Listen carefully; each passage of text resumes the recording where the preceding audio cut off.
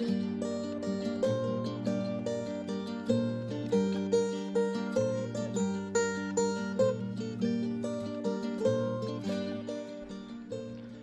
الله الرحمن الرحيم.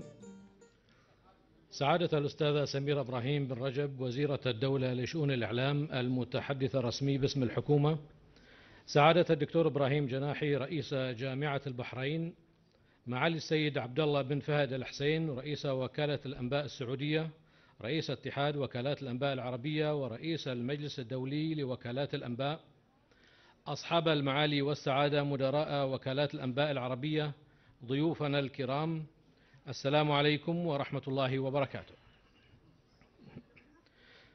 نرحب بكم خير ترحيب في بلدكم الثاني مملكة البحرين التي تتشرف اليوم باستضافة الجلسة الحوارية لاجتماع الجمعية العمومية لوكالات الأنباء العربية في مركز تسهيلات البحرين الإعلامي بجامعة البحرين تحت عنوان الأخلاقية والكفاءة في عمل وكالات الأنباء. بتنظيم من وكالة أنباء البحرين وجامعة البحرين وتحت رعاية كريمة من سعادة الأستاذة سميرة إبراهيم بن رجب وزيرة الدولة لشؤون الإعلام المتحدث الرسمي باسم الحكومة.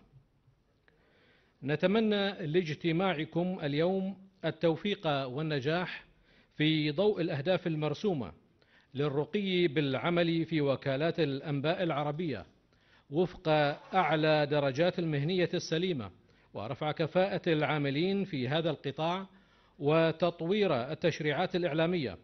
التي تحقق أقصى درجات ممارسة الحرية الإعلامية المنضبطة بمبادئ أخلاق المهنة وهو ما عودنا عليه اتحاد وكالات الأنباء العربية في خطوط أهدافه العامة واجتماعاته المتخصصة.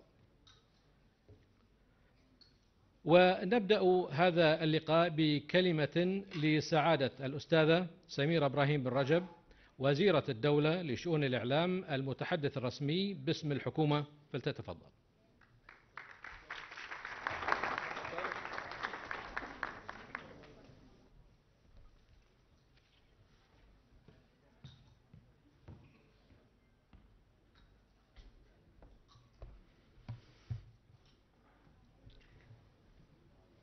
صباح الخير جميعا. تشوفون الابتسامة على وجهي بسبب نجاح الانتخابات في البحرين. أرجو أن تكون هذا واضح. أصحاب المعالي والسعادة السفراء المعتمدين لدى مملكة البحرين. سعادة الدكتور إبراهيم محمد جناحي رئيس جامعة البحرين. سعادة الأستاذ عبد الله بن فهد الحسين. رئيس المجلس الدولي لوكالات الأنباء العالمية رئيس اتحاد وكالات الأنباء العربية. السادة مديري وكالات الأنباء العربية. السلام عليكم ورحمة الله وبركاته. نسيت الحضور الكرام. اسمحوا لي بداية أن أتقدم بجزيل الشكر وخالص التقدير لوكالة أنباء البحرين. الوكالة المستضيفة لهذا المؤتمر وإلى جامعة البحرين على تعاونها الدائم معنا. ولا يفوتني أيضا لا نعبر عن شكري الخاص إلى الأستاذ عبد الله بن فهد الحسين رئيس المجلس الدولي لوكالات الأنباء العالمية رئيس اتحاد وكالات الأنباء العربية. على دوره الدؤوب في التنسيق ودعم التعاون وتطوير العمل المشترك بين مختلف وكالات الأنباء العربية. السيدات والسادة أن المتتبع لخريطة صناعة ونشر وتوزيع الأخبار يلاحظ بكل سهولة أن وكالات الأنباء ما زالت تحافظ على مكانتها كمصدر أخباري أساسي ضمن المشهد الإعلامي المحلي والإقليمي والدولي. إلا أننا نلاحظ أيضا أن وكالات الأنباء بدأت تشهد نوعا من التراجع. في ظل التنافس الشديد لوسائل الإعلام بمختلف أشكالها الورقية والمرئية والمسموعة والإلكترونية. وفي ظل التحولات الهامة التي يشهدها قطاع الإعلام والاتصال على المستويين التقني والتكنولوجي. كما أن ظهور مصادر أخبارية إلكترونية جديدة تتميز بسرعة النشر والتحديث وخفة المعلومة ربما تتحول إلى أدوات إخبارية أكثر تأثيراً على الرأي العام العربي عبر شبكة الإنترنت والهاتف النقال. وبالتالي قد تطرح أسئلة قد تطرح أكثر آه، من سؤال حول آه، مستقبل وكالات الأنباء.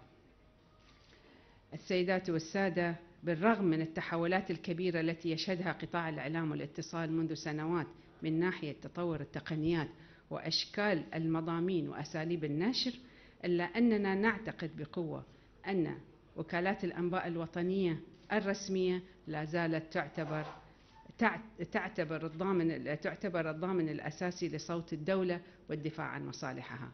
أمام المئات من وسائل الإعلام الإقليمية والدولية التي انخرطت منذ فترة ضمن أهداف سياسية ومشاريع إقليمية مشبوهة.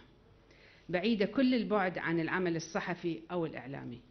بل ما نراه على أرض الواقع هو تأثير على الرأي العام العربي بطريقة خاطئة. ربما يؤدي إلى تداعيات خطيرة أولها بث الفوضى التي بدأت في المنطقة وما تبعها من عدم الأمن والاستقرار. كما تعلمون فإن المعلومات والأخبار هي العنصر الأساسي من عناصر الأمن والاستقرار في المجتمع. ولا يمكن في الوقت الراهن لأي بلد مهما كان حجمه العسكري أو السياسي أو الاقتصادي أو الثقافي أن يغفل عن الدور المحوري الذي تلعبه وسائل الإعلام داخل المجتمع وخاصة منها وكالات الأنباء. ويتفق معظم الباحثين في العلوم السياسية والعلوم العسكرية وعلوم الإعلام والاتصال في أن المعلومة هي الرصاصة الأولى التي يمكن أن تؤدي إلى حرب شاملة أو المسكن الأول الذي يمكن أن يساهم في توقيع معاهدة سلام دائمة. وتعتبر وسائل الإعلام والاتصال أيضا القوات الخاصة النفسية والدعائية التي تناور وتعزز صفوف الجيوش. كما أنه في أغلب الأحيان لا حاجة لجيوش على الأرض في ظل وجود أسلحة إعلامية واتصالية يمكن أن تحسم الحروب قبل بدايتها أصلاً. يجب أن نعي اليوم أن وكالات الأنباء الوطنية ليست مجرد مؤسسات إعلامية عادية تمد المجتمع بالأخبار فقط بل هي مؤسسات رسمية يجب أن تنخرط في مفهوم الأمن الإعلامي للدول. الذي يقوم على مبدأ مقاومة تدفق المعلومات الخاطئة وبث الصورة الصحيحة لبلداننا. كما يجب على الحكومات من جهة ثانية أن توفر لوكالات الأنباء الوطنية الإمكانيات المادية والبشرية اللازمة لتحقيق هذه الأهداف. ويجب على الخروج يجب الخروج من الفكر الضيق الذي يعتبر وكالات الأنباء الوطنية مجرد إدارة حكومية. بل يجب ترسيخ فكرة أن وسائل الإعلام هي مؤسسة استراتيجية هامة في الدولة لا تقل أهمية من أي مؤسسة عسكرية أو أمنية أو اقتصادية. تساهم في الدفاع عن مصالح المجتمع وتساهم في أمنه واستقراره. إننا اليوم أمام مسؤولية كبيرة وأن بلداننا اليوم آه، تحتاج إلينا أكثر من أي وقت مضى. أمام التحديات الإقليمية والدولية التي أصبحت أكثر تعقيداً. كما بات جليا أن المعارك الجديدة على المستويين الأقليمي والدولي هي آه، بالأساس إعلامية. وهنا يأتي دور وكالات الأنباء الوطنية التي لا يجب أن يقتصر دورها على تزويد المجتمع بالأخبار بل العمل ضمن فلسفة جديدة تأخذ بعين الاعتبار التحديات الجديدة للدول. وتعي خطورة الرهانات الإقليمية والدولية وتعمل على تصحيح المسار من خلال نشر الأخبار الصحيحة وبالسرعة المهنية المطلوبة. وإنارة الرأي العام ومقاومة التضليل الإعلامي وفضح الخطط الإعلامية المشبوهة. السيدات والسادة لقد تعرضت مملكة البحرين خلال الأربع سنوات الأخيرة إلى هجوم إعلامي إقليمي ودولي غير مسبوق. كان الهدف منه زعزعة الاستقرار والتشكيك فيما وصلت إليه المملكة من تقدم وإصلاحات على جميع المستويات. إلا أننا تمكنا بالرغم من إمكانياتنا الإعلامية البسيطة من مجابهة هذا هذا الأمر ونجحنا في مقاومة التضليل الإعلامي المشبوه ونعمل حاليا ضمن الخطة الاستراتيجية الخمسية. لوزارة الدولة لشؤون الإعلام على تطوير أجهزتنا الإعلامية الرسمية وجعلها من أهم أدوات الدفاع عن مصالح بلدنا وخدمة مجتمعنا وأتمنى أن نكون توفقنا في عملنا لإنجاح العملية الانتخابية مؤخرا. وفي هذا الإطار لا يمكن نواصل الكلمة فقط وفي هذا الإطار لا يمكن تطوير وكالة أنباء البحرين التي دشنت مقرها الجديد في شهر أبريل الماضي اسمحوا لي. وفي هذا الإطار لم يكن تطوير وكالة أنباء البحرين التي دشنت مقرها الجديد في شهر أبريل الماضي من محض الصدفة إذ نؤمن أن وكالة الأنباء الرسمية هي إحدى أعمدة التطوير والتنمية في المجتمع وإحدى وسائل الدفاع الأمامية عن مصالح الوطن. وأحيي بهذه المناسبة السيد مهند سليمان مدير عام وكالة أنباء البحرين على جهود جهوده المبذولة في هذا الشأن. وأخيرا من خلال هذا المنبر أعبر مرة أخرى عن شكري وتقديري للقائمين على تنظيم هذا المؤتمر متمنية لكم النجاح والتوفيق والإقامة الطيبة في بلدكم الثاني مملكة البحرين. شكرا جزيلا.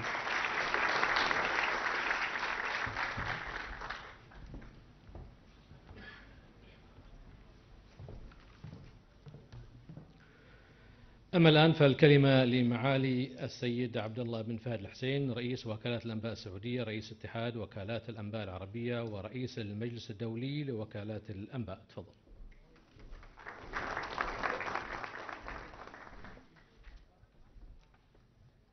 بسم الله الرحمن الرحيم والصلاة والسلام على أشرف الأنبياء والمرسلين. سعادة وزيرة الدولة لشؤون الإعلام في مملكة البحرين الشقيقة أصحاب السعادة رؤساء وأعضاء الوفود سعادة رئيس جامعة البحرين السادة الحضور. السلام عليكم ورحمة الله وبركاته. بداية أود أن أتوجه بالشكر والتقدير باسمي ونيابة عن زملائي مدراء وكالات الأنباء العربية لصاحب الجلالة الملك حمد بن عيسى آل خليفة وصاحب السمو الملكي الأمير خليفة بن سلمان آل خليفة رئيس مجلس الوزراء. وصاحب السمو الملكي الأمير سلمان بن حمد بن عيسى آل خليفة ولي العهد على استضافة مملكة البحرين للمؤتمر. وشكر موصول لسعادة وزيرة الدولة لشؤون الإعلام المتحدث الرسمي باسم الحكومة في مملكة البحرين الشقيقة لتفضلها برعاية الجلسة الحوارية. حول الأخلاقية والكفاءة في عمل وكالات الأنباء التي تمثل بداية تطبيق قرار عقد المؤتمر السنوي للجمعية العمومية لاتحاد وكالات الأنباء العربية تحت عناوين معينة وأنوه بما جاء في كلمتها القيمة من مضامين على درجة كبيرة من الأهمية.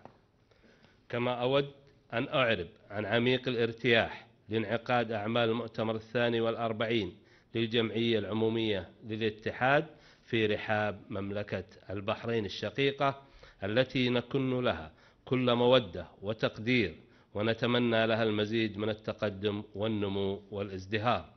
في ظل القيادة الرشيدة لجلالة الملك حمد بن عيسى الخليفة.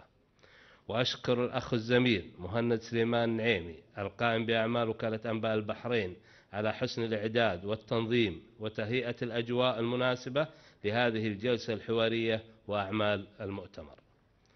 كما يطيب لي أن أعرب عن بالغ الشكر باسمي ونيابة عن زملائي رؤساء ومدراء وكالة الأنباء العربية لسعادة الدكتور إبراهيم جناحي رئيس جامعة البحرين على ما قدمته الجامعة من إمكانية إنجاح هذا التجمع الإعلامي. وأتقدم بالشكر لكم أبناءنا الطلبة والطالبات في نادي وكلية الإعلام على حرصكم لحضور ودعم هذا اللقاء الإعلامي وأنتم إن شاء الله رجال الإعلام في المستقبل. إن فكرة عقد المؤتمرات السنوية للجمعية العمومية للاتحاد تحت عناوين معينة وبداية تنفيذها في مؤتمرنا هذا خطوة عملية تثري أعمالنا وتضيف عليها المزيد في عناصر التجديد والتنوع. وإنني على ثقة في ضوء أوراق العمل المقدمة والحضور المتميز بأن هذه الجلسة الحوارية ستقود إلى نتائج إيجابية تنعكس على وكالاتنا الأنباء العربية ودورها. أدعو الله تعالى أن يكلل أعمالنا بالنجاح ويجعل التوفيق حليفنا لنواصل مسيرة تعاوننا المشترك ونحقق النتائج المرجوة التي يتطلع إليها الجميع. والسلام عليكم ورحمة الله وبركاته.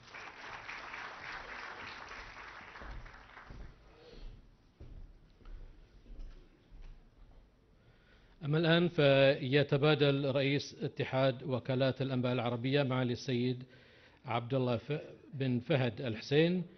ورئيس جامعة البحرين سعادة الدكتور إبراهيم جناحي الهدايا التذكارية بمناسبة انعقاد هذه الجلسة الحوارية في رحاب جامعة البحرين.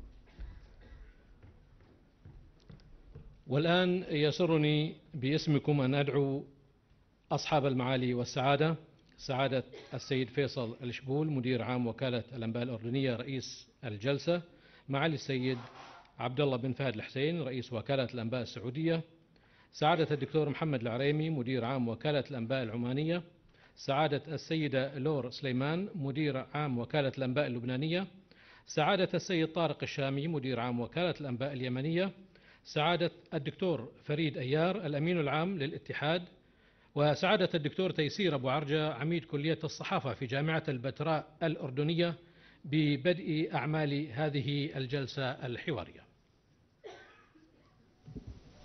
بسم الله الرحمن الرحيم. آه، التحية أولا لمعالي الوزيرة ولسعادة آه، الصديق الدكتور إبراهيم الجناحي رئيس جامعة البحرين. وللجامعة بأسرها أساتذة وطلاب وطالبات والضيوف الكرام وللزملاء والزميلات الموجودين. آه، وسأؤجل آه، تحيتي للأخ مهند لأنه ورطني في راسة الجلسة لئلا أتكلم. هو طلب مني أن أصمت آه، كي أدير الحوار.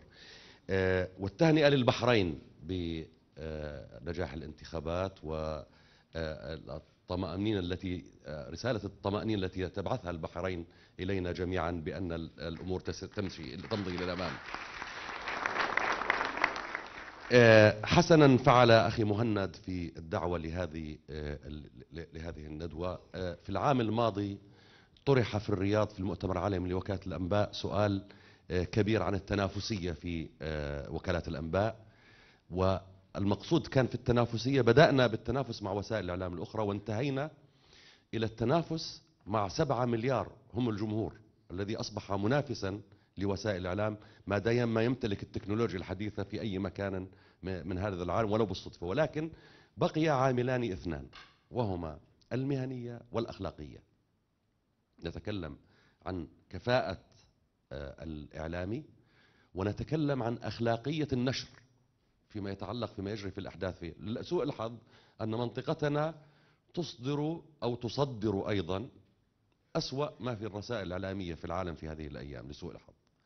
على أي حال المخاوف التي أبدتها معالي الوزيرة بالنسبة لوكالات الأنباء آه، ثمة ما يعطي أملا في الجهة المقابلة. آخر إحصائية لمعهد الإعلام الأردني في الأردن تبين أن وكالة الأنباء الأردنية تنتج 63% من المحتوى الخبري المحلي مع وجود أكثر من 250 موقع إلكتروني 81 إذاعة وتلفزيون خاص تسع صحف يومية 30 صحيفة أسبوعية. بالرغم من ذلك هذا بيعني أنه أيضا القطاع الخاص صار يمارس عليه نوع من الإرهاب من الإعلام الجديد في والتشويه في بعض الأحيان فيلجأ إلى وسائل الإعلام الآمنة كي آه، تحمل هذا ال- المضمون. تكلمت آه، أخ مهند رغم أنك كنت حاول تقمعني. إذا عرف طبعا عريف الحفل على آه، الزميلات والزملاء بالنسبة إليكم. آه، أدعو معالي آه، عبد الله بن فهد الحسين آه، لمداخلته ستكون مداخلته الأولى في هذه الندوة. آه، كنا بدأنا من 20 دقيقة مشان ما نطمن الطلاب خاصة الملولين بكونوا بال- بالدراسة. خفضنا السقف لعشر دقائق. وربما أقل لكل متحدث لكي نسمع منكم. شكرا. تفضل معاليك. شكرا شكرا للحضور وأرجو أن تتحملوني في كلمتين. ال- الأخلاقية والكفاءة في عمل وكالات الأنباء. الأخلاقية هي سمة لعمل وكالات الأنباء وعنصر محوري للكفاءة والنجاح. وتؤكد التجربة المهنية والواقع العملي لوكالات الأنباء أن هناك ترابطا لا ينفصم بين الأخلاقية والكفاءة في عمل تلك الوكالات التي تبقى أبرز المصادر الرئيسة للأخبار رغم ظهور وسائل إعلام جديدة ومتنوعة واحتدام المنافسة من أجل الوصول إلى المعلومة. وهذا الأمر ينطبق على مختلف المجالات الحياتية فالأخلاق قيمة جوهرية أينما سادت تحسنت حياة المجتمعات وتطورت إلى الأفضل الكفاءة الحياتية للبشر. يضم اتحاد وكالات الأنباء العربية مجموعة متجانسة من المؤسسات والهيئات الإعلامية التي يتوجه بعضها نحو التحول من وكالات حكومية إلى وكالات عامة. وتتشابه تلك الوكالات بشكل أو بآخر من حيث النشأة والرسالة والأهداف والمسيرة المهنية. وحتى التطلعات والبرامج الآنية والمستقبلية الأمر الذي قادها إلى النجاح تحت مظلة الاتحاد في السير قدما نحو تعاون إعلامي متميز ومتنوع. وتقدم وكالة الأنباء العربية عبر أدائها نماذج عملية للأخلاقية والكفاءة في عمل وكالات الأنباء ويتجلى ذلك فيما يمكن أن يكون بمثابة ميثاق شرف حيث تعتمد الوكالات العربية في نقل الأخبار عن أي من الدول العربية على الوكالة الوطنية لتلك الدولة دون سواها لضمان عناصر المصداقية والدقة والموضوعية وهي من العناصر الرئيسة الأخلاقية وهي من العناصر الرئيسة المهنية ولا يمكن بحال من الأحوال النقل عن أي من الوكالات أو وسائل الإعلام الأخرى مهما علت شهرتها أو اتسع انتشارها. لكل مهنة أخلاقيات وسلوكيات والصحافة رسالة قبل أن تكون مهنة فهي أداة مهمة في بناء المجتمع ومقياس لحضارة الأمم ومرآة صادقة لنشاطها في شتى الميادين. ولمهنة الصحافة خصوصية تختلف عن باقي المهن الأخرى كونها تخاطب العقول بمختلف مستوياتها وهي تؤدي خدمة اجتماعية كبيرة لأنها تقوم من أجل إشباع أو مواجهة احتياج مجتمعي. وقد اجتهد المختصون والأكاديميون في تعريف أخلاقيات العمل الصحفي أو مهنة الصحافة ولسنا بصدد الخوض في تفاصيل تلك التعريفات غير أنها في الإجمال تجتمع على أنها قواعد موضوعة تعبر عن السلوك المهني المطلوب من القائمين بوسائل الإعلام الالتزام بها. وقد وضعت النظم السياسية في العالم سياسات إعلامية متنوعة تنسجم مع أهدافها وتوجهاتها وتطلعاتها إدراكا منها بأهمية الإعلام وما يؤديه من وظائف كبيرة وخطيرة في المجتمع. إن أخلاقيات وسلوكيات العمل الصحفي تعبر في مضمونها عن العلاقات بين ممارس المهنة من ناحية والعلاقة بينهم وبين الجمهور من ناحية أخرى وبينهم وبين المجتمع الذي ينتمون إليه من ناحية ثالثة والأخلاقيات قد تكون متعارف عليها أو مبادئ ومعايير يضعها التنظيم الخاص بالمهنة. ومن المبادئ والقيم الأساسية تبرز معايير أخلاقية يمكن إجمالها في الصدق والدقة والحيادية والموضوعية إلى جانب عناصر الأمانة وعدم تشويه الحقائق أو السعي إلى منفعة خاصة مع احترام خصوصيات الآخرين وثقافات الشعوب الأخرى. والإنصاف والمساواة في تبادل المعلومات وتحمل المسؤولية الاجتماعية لتعزيز قيمها الإيجابية بالإضافة بالإضافة إلى صيانة أعراض الناس وعدم الإساءة إلى الشعوب والدول والأفراد وتحاشي جميع أشكال الإثارة أو التضخيم. وتنبع أخلاقيات مهنة الصحافة من مصادر عدة منها السياسة الإعلامية والمؤسسة الصحفية وفريق العمل إلى جانب المجتمع الذي يعد من المصادر المهمة لأخلاقيات المهنة. لأنه المنبع الرئيس الذي يستمد الصحفي أخلاقياته المهنية منه فضلا عن القيم الاجتماعية والأعراف والعادات والتقاليد السائدة وطبيعة التنشئة الاجتماعية. وكالات الأنباء بصفة عامة مؤسسات إعلامية تقوم بالتغطية الإخبارية لمختلف النشاطات وهي تقدم خدماتها لجميع المؤسسات الصحفية والإعلامية المحلية والخارجية فضلا عن القطاعات الأخرى. ومن واقع عمل وكالات الأنباء العربية فإن تحقيق رسالتها يرتكز على جملة من المقومات أبرزها نقل الحقيقة بدقة وسرعة وموضوعية مع احترام الأسس الأخلاقية المتعلقة بالصحافة والأنظمة السائدة. وعدم التحيز في نقل الأخبار واحترام العقل وكرامة الإنسان.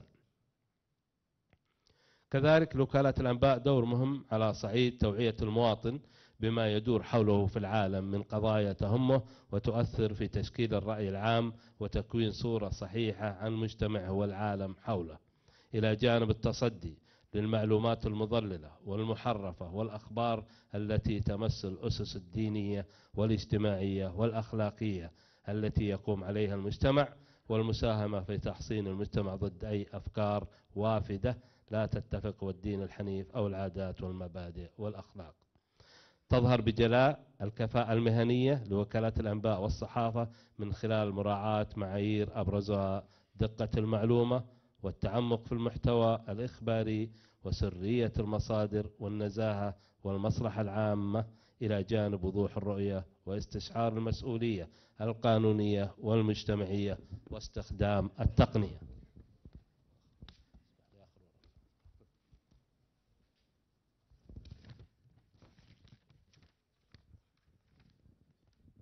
وهناك عوامل مساعدة على الوصول إلى مستويات عالية من الكفاءة. أهمها الإدارة وإدراك طبيعة الرسالة الإعلامية والعلم والتدريب وفرق العمل أو كوادر المؤسسة والتمويل والمقر وشمولياته من أجهزة ومعدات مع وجود أهداف استراتيجية طويلة الأجل وأخرى تكتيكية أو قصيرة الأجل. غير أن إدارة المؤسسات الإعلامية الناجحة لا تستطيع أن تحقق أهدافها بمعزل عن تأثيرات البيئة السياسية والإقتصادية والاجتماعية والقانونية. إن ممارسة العمل في وكالات الأنباء وفي الصحافة بشكل عام تؤكد الترابط الوثيق بين الأخلاقية والكفاءة. إن القواعد الأخلاقية لا تهدف إلى فرض معايير قابلة للتطبيق قانونيا بقدر إعطاء الصحفي إطار عمل لمساعدته على تقرير ما يجب كتابته تقريرا بشأنه وكيف القيام بذلك. إن أخلاقية العمل الصحفي أصبحت مشكلة عالمية في عالم الصحافة ذلك أن الكثير من العاملين في وسائل الإعلام والاتصال لا يراعون الأخلاقيات السليمة للمهنة خلال مزاولتهم لأعمالهم لأسباب عديدة ومعقدة. وهذا الوضع يمثل خروجا على ما يتعارف عليه المجتمع من قيم ومعايير ومثل تربوية سليمة. وفي ظل الثورة الإعلامية والمعلوماتية والإتصالية الحديثة يتجه العديد من الاتحادات والمؤسسات الصحفية في العالم نحو مراجعة مواثيقها المهنية واستجابة للتطورات المتلاحقة في الساحة السياسية والإعلامية العربية والدولية وعملا على إرساء مبادئ الالتزام بالمسؤولية وتدعيم الالتزام الإعلاميين بالقيم والمعايير الأخلاقية للمهنة وسعيا لزيادة وعيهم وتقدير لأمانة الكلمة. شكرا لكم للإصغاء شكرا جزيلا. آه الآن آه سعادة الدكتور فريد أيار أمين عام اتحاد وكالات الأنباء العربية. تفضل. أنا تسمح لي يعني تفضل. بس مش تطول يعني إذا رحت هناك. أيوة.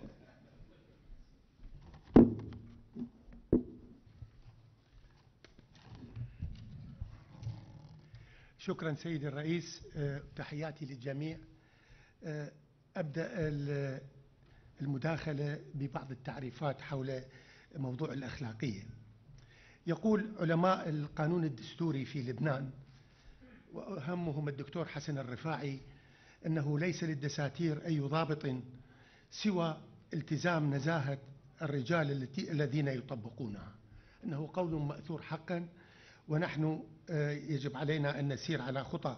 أستاذنا الرفاعي ونقول ليس لمواثيق الشرف الإعلامية التي تحدد أخلاقيات وتصرفات الصحفيين أثناء تأديتهم أعمالهم سوى التزام ونزاهة الصحفيين أنفسهم. ذلك لأن مواثيق الشرف الإعلامية مهما كثرت موادها وفقراتها الداعية إلى التمسك بالأخلاق تصبح حبرا على ورق. إن لم يصاحب ذلك إدراك الصحفي بضرورة التقيد بها. هذا الإدراك الذي يفترض أن لا يكون ابن يومه آه، بل يكون الصحفي قد تربى عليه منذ نعومة أظفاره بمعنى أن يكون البيت الذي تربى فيه والمدرسة التي تعلم ودرس فيها والمحيط الذي عاش داخله قد رسخت في ذهنه القدر الكافي من المعاني الخلقية كالأمانة الحياد اللا حقد المحبة النزاهة احترام الآخرين احترام الحقوق وعدم التحيز وغيرها في الورقة التي أعدتها الأمانة العامة للاتحاد والتي وزعت عليكم لتكون الأساس لمناقشات هذا اليوم الأكاديمي الجميل والذي اشتقنا إليه كثيرا تم وضع الأسئلة للمناقشة ومنها هل يجب على الصحافي الجيد الكفوء أن يكون جيد الأخلاق أيضا؟ هل الصحافي مقيد بمقاييس الأخلاق الاعتيادية؟ هل هناك أخلاقية صحفية ومميزة عن مقاييس الأخلاق الاعتيادية؟ مدى تأثير الصحافي الملتزم اخلاقيا على الاستقرار الاجتماعي والحفاظ على آداب السلوك الإنساني هذه كانت أسئلة مطروحة في الورقة التي وزعت إن مصطلح الأخلاقية يعني بحد ذاته القواعد المتناقلة ثقافيا للسلوك الصحيح والخاطئ في الحياة الاجتماعية. هذه القواعد بطبيعة الحال مهمة للاستقرار الاجتماعي وللحفاظ على آداب السلوك الإنساني. إن القواعد هذه تعني بقدر ما أخلاقية الحقوق والواجبات. بمعنى أنه في حال أن طالب شخص بحقوقه وأدى واجباته يمكن عندئذ القول أنه يمتلك الأخلاقية اللازمة. ولكن من بين هذه الفئة من الناس الذين يمتلكون أخلاقية لازمة هناك من يتمتع بخصوصية خصوصيات إحداها الفضيلة أي العدالة والصدق والجدارة. إذا عنده حقوق وعنده واجبات وفضيلة أيضا يمتلكها. هكذا تبدو الفضيلة الأخلاقية على أنها استعداد ثابت لعمل ما هو مقبول أخلاقيا وفرض تنفيذ الشخص لواجباته واحترام حقوق الآخرين في ذات الوقت.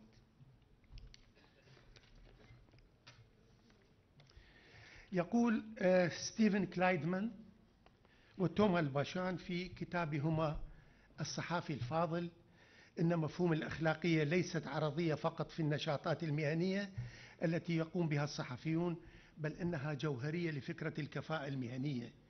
أي بمعنى أن تكون المعايير الأخلاقية لا تنفصل عن الممارسة الصحفية الكفوءة والعادلة وغير المنحازة. إنما, إنما نود الوصول إليه جوابا على السؤال الأول هو على الصحافي الجيد أن يكون جيد الأخلاق. نقول أن الأخلاقية بقسميها الحقوق والواجبات وقيم الفضيلة تصبح من الشروط الضرورية لكي يصبح الشخص صحفيا جيدا وعلى الصحافي الكفو أن يوفق ويزاوج بين الممارسة المهنية وبين القواعد الأخلاقية. والحقيقة أن هذا الموضوع القاضي بالعلاقة الحميمة لارتباط الصحفي بالقيم الأخلاقية غير متفق عليها في بعض المدارس التي ترى بأن المقاييس الأخلاقية الإعتيادية ليست جوهرية للمقاييس الصحفية وربما تتعارض معها. يؤكد في هذا المجال ستيفن دانيال في كتابه أيضا الذي يعارض نظريات كلايدمان أن الصحفي أن الصحفيين بصفتهم صحفيين فهم غير ملزمين باتباع القواعد الأخلاقية وعلى المرء أن يميز بين المقاييس الأخلاقية ومقاييس أخلاقية الصحفيين. فمثلا عند النظر إلى هذه المقاييس من داخل المجتمع الصحافي يمكن اعتبار ممارسات اختلاس السمع أو انتهاك العزلة الشخصية لأغراض الحصول على مواد إخبارية مهمة على أنها تتوافق مع المقاييس المهنية العالية في الحقل الصحفي ولكن عند النظر إليها من خارج المجتمع الصحفي يمكن اعتبار اعتبارها تستحق الشجب من الوجهة الإخلاقية. إن أصحاب هذه المدرسة يرون بأن الصحفيين بصفتهم هذه غير ملزمين باتفاق باتباع القواعد الاعتيادية. فالمصور الصحافي الذي يصور صورة وحدة امرأة قاتلة مثلا من أجل الحصول على صور صور إخبارية يتصرف بصورة إخلاقية. لكن من جهة أخرى فإنه في ذات الوقت أنه في المجتمع يدينون هذا التصرف. بالرغم من تباين المواقف في هذا المجال نقول إننا إنه لا يستطيع أي قانون للأخلاقيات أن يعطي حلولا لكافة المشاكل الأخلاقية التي تواجهنا في حياتنا اليومية. وما نحتاج إليه هو أسلوب معقول ومنهجي للتعامل مع القضايا مع تقديرنا أن الحكمة العملية والحكم السليم هما عنصران مضافان لقوانين الأخلاق. الآن تحدثنا عن هذه بصورة سريعة ومسألة نظرية. الآن أود أن أذكر لكم قصة بشكل سريع. هي يعني حصلت في زماننا الحالي. تبين بعض اللا أخلاقيات التي حصلت في مجال التلفزيون. في كتابه استبدادية الإعلام ركز إيناسيو راموني رئيس تحرير لوموند دبلوماتيك في فصل كامل على نماذج للمخادعة الإعلامية ولا أخلاقيات مثل هذه الأعمال. الأمثلة الأخلاقية هذه كانت بالفعل ضرورية بعد الكشف في نهاية كانون الثاني من عام 1990 أكيد من يعني الزميلات اللي هم طالبات الآن لم يولدوا بعد لكن من القرن الماضي كان هذا. آه، عن أن الصور المريعة التي آه، أن الصور المريعة لما سمي بمحرقة تيموشوارا في رومانيا كانت نتيجة عملية إعلامية مفبركة وإخراج تصويري فلم تكن الجثث المصطفى على شراشف بيضاء جثث مجازر 17 كانون الأول 1989 بل جثث موتى تم نبشها من مدافن الفقراء وتقديمها إلى حدثات التلفزيون. هكذا قالت لو فيغارو في 30 واحد 1990 كانت رومانيا في تلك المرحلة في ظل نظام ديكتاتوري وكان نيكولاي تشافشيسكو حاكما استبداديا. وانطلاقا من هذه المعطيات الصحيحة والأكيدة ذهب التلفزيون مرة أخرى في تغطيته لأحداث بوخارست في كانون الأول 1989 إلى حدود قصوى باتجاه ميوله المرضية وأدى به السباق سعيا وراء الإثارة في آه، إلى المخادعة والكذب وجر معه في جو من الهستيريا الجماعية مجموع وسائل الإعلام في فرنسا. بل وحتى قسما من الطبقة السياسية فكيف أمكن حدوث ذلك في فرنسا التي تعرف عن نفسها بأنها من ديمقراطيات الإعلام والاتصال لا شك أن ابتداع المجزرة المزيفة لتيموشوارا هذا هو حدث من أهم المخادعات والأكاذيب منذ ابتكار التلفزيون. فلقد كانت لتلك المشاهد والصور الأثر الكبير اللامعقول على المشاهدين الذين كانوا يتابعون قبل بضعة أيام اندفاع الثورة الرومانية. كانت حرب الشوارع مستمرة في ذلك الحين في بوخارست. وكان يبدو أن ذلك البلد أي رومانيا مهدد من جديد بالوقوع في قبضة رجال فريد الشرطة. دكتور فريد الوقت انتهى بعطيك دقيقتين إضافيتين. خمس دقائق. لا لا ما ما ما في لأنه الجمهور طيب. محتاج أوكي. وقت قمع طبعا. طبعا طيب. إذا إذا يمارس العنف معي الرئيس اليوم.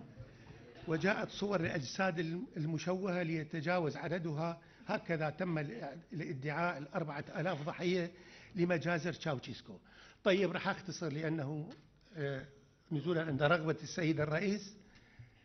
المجزرة لم تكن مجزرة حقيقة بل كانت أحداث رومانيا سببت بمقتل آه، حوالي ألف واحد.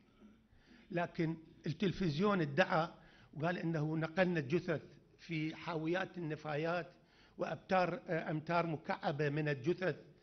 يعني أوصاف خلت العالم كلها يعني تقرف من هذا الموضوع وقالوا على أساس ستين ألف إلى سبعين ألف ضحية. في حين كانت ال ال كل اللي قتلوا بما فيهم في تيم وشوارع كانوا ألف. هذا يدلل على أنه آه، التلفزيون يعني وقع في خطأ مميت. الآن آه، فقط أقول من كان المستفيد من هذا العمل الأخلاقي؟ وهنا القوانين الأخلاقية الضابطة لأعمال الصحفيين. آه، لا نستطيع القول أن التلفزيون الروماني وحده قام بكل هذه الأفعال الكبيرة باستخراج الجثث والإتيان بحاويات النفايات إلى ما شابه ذلك. ولماذا انقاد العديد من الصحفيين المفروض أن يمتلكوا الفضيلة الأخلاقية في عملهم الانقياد وتصديق, وتصديق هذا الخداع. وشكرا لكم. خربطني الرئيس بس ماشي الحال. شكرا, شكرا جزيلا. شكرا دكتور فريد. آه، أعطي الكلام لسعادة الدكتور محمد العريمي مدير عام وكالة أنباء عمان آه، بالمناسبة الكلمات بالنسبة للطلاب والطالبات تحديدا بعد بعد ال الجلسة حتكون مطبوعة متوفرة لمن يستزيد يعني يرغب بالاستزادة. تفضل دكتور. بسم الله الرحمن الرحيم. والصلاة والسلام على أشرف المرسلين سيدنا محمد وعلى آله وصحبه ومن والاه إلى يوم الدين. بداية اسمحوا لي أيها الحضور الكريم نتقدم بجزيل الشكر وعظيم الامتنان لمملكة البحرين ملكا وشعبا على حسن الاستضافة. وهذا حقيقة ليس قريب لا على البحرين ولا على شعب البحرين فمنهم منا كل الشكر وكل التقدير. موضوع الندوة حقيقة موضوع شائك وأيضا موضوع كبير. لا يستطيع متحدث أن يلخصه في عشر دقائق. وبالتالي سوف أحاول قدر الإمكان أن أقدم شذرات. الثيمة الآن واضحة لديكم لأن الندوة سوف تتكلم عن أخلاقيات العمل الصحفي. وبالتالي أتمنى على الرئيس رئيس الجلسة أيضا والحضور الكريم أن تكون هذه الجلسة جلسة حوارية نستمع فيها أكثر مما نتكلم. نحن أتينا إلى هذه الجامعة العريقة التي نكون لها كل التقدير وكل الاحترام. كي نستمع منكم نستمع للسلبيات قبل الإيجابيات.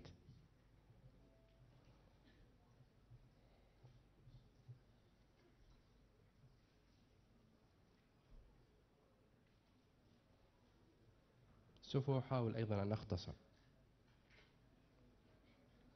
للتعريف وكالات الأنباء هي منظمات ومؤسسات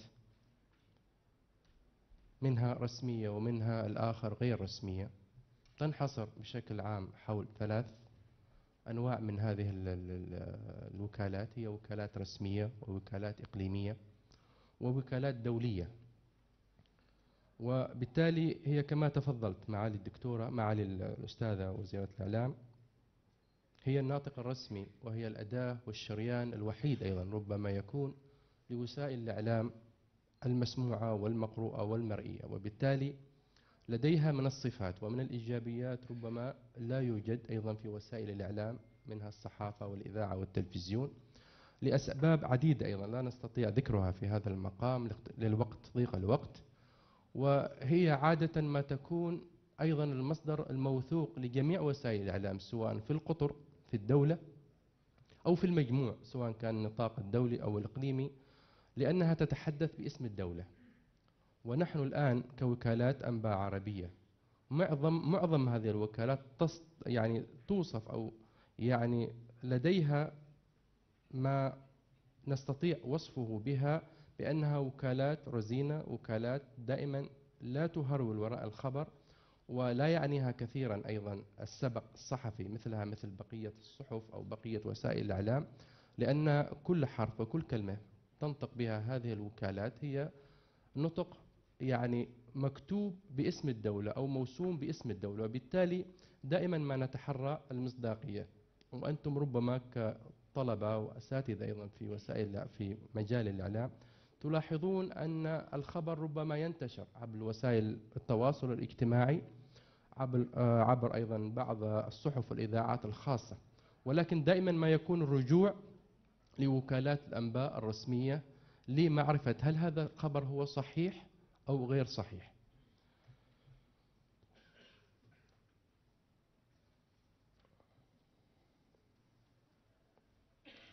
طبعا أصبحت وسائل آه، من وكالة الأنباء سواء في العالم العربي أو في غير العالم العربي هي وكالات مؤثرة وبالتالي أو أيضا لعدة أسباب. آه، السبب الرئيس بأن عمل وكالات الأنباء ليس محصورا على القطر أو على الدولة وبالتالي عندما تبث وكالة أنباء معينة الخبر هو ينتشر لكل العالم وبالتالي هذا الانتشار وهذه الإمكانيات التي وفرتها الدولة لهذه الوكالات يعطيها مساحة واسعة للانتشار. بمعنى أن الصحيفة تنتشر في نطاقها. أنا أقصد هنا الصحف المكتوبة ليست الصحف أيضا التي تنتشر عبر السماوات المفتوحة. عندما تبث وكالة ما خبر هو ينتشر بشكل غير طبيعي وبالتالي هو إما أن يكون هذا الخبر خبر سلبي على الدولة أو خبر إيجابي على هذه الدولة. العالم بشكل عام قبل 200 سنة وبالتحديد 1873 كانت تتنفس فيه ثلاث وكالات فقط. وكالة هافاس وكالة رويتر وأيضا وكالة أخرى لا يحضرني الآن اسمها. هي كانت توزع الأخبار فقط مسموح لها توزع الأخبار أيضا ضمن محاصصة استعمارية موجودة في العالم. وبالتالي هي تنشر الأخبار أو توزع الأخبار والحقائق حسب ما تراها هي هذه الوكالات مناسبة. وبالتالي نسبة الأخلاقية في هذا الموضوع أيضا كانت متدنية بمعنى أن هذه الدول أو أرباب هذه الوكالات كانت يعني دائما ما يكون التوجيه توجيه استعماري اتجاه منطقتنا في ذيك الفترة وأيضا مناطق أخرى في العالم. خلال الخمسين سنة القادمة آه، من خمسين سنة التي فاتت أو خمسين سنة الماضية حاولت أو حاول حاول حاولت منظمة الأمم المتحدة أن تهشم هذا هذا هذه السيطرة. من قبل هذه الوكالات وبالتالي انتشرت وكالات رديفة. طبعا في منطقتنا العربية كانت أول وكالة هي وكالة الأنباء المغربية تلتها وكالة الأنباء المصرية. هذا كان في الستينيات والخمسينيات من القرن الماضي. تلتها أيضا بعد ذلك وكالات أنباء في منطقة الخليج وفي العالم العربي. الموضوع الخطير الآن الذي يجب أيضا أن تسلط عليه الأنظار سواء أنظار الأكاديميين أو أنظار غير الأكاديميين أن هذا الاستعمار الإعلامي عاد يعود من جديد.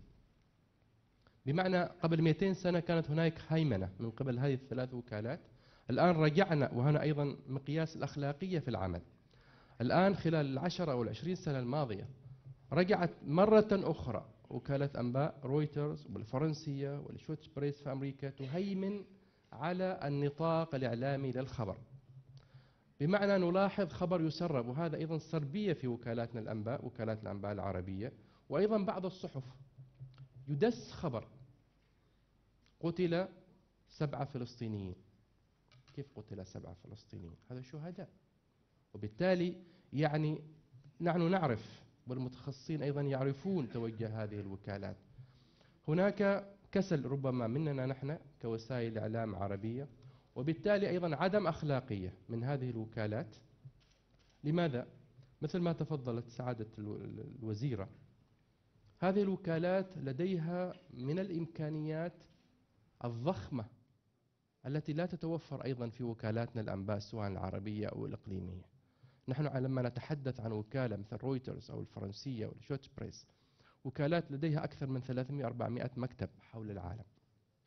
لديها ميزانيات خرافية مقابل أيضا الميزانيات التي هي محصلة لوكالاتنا الأنباء العربية.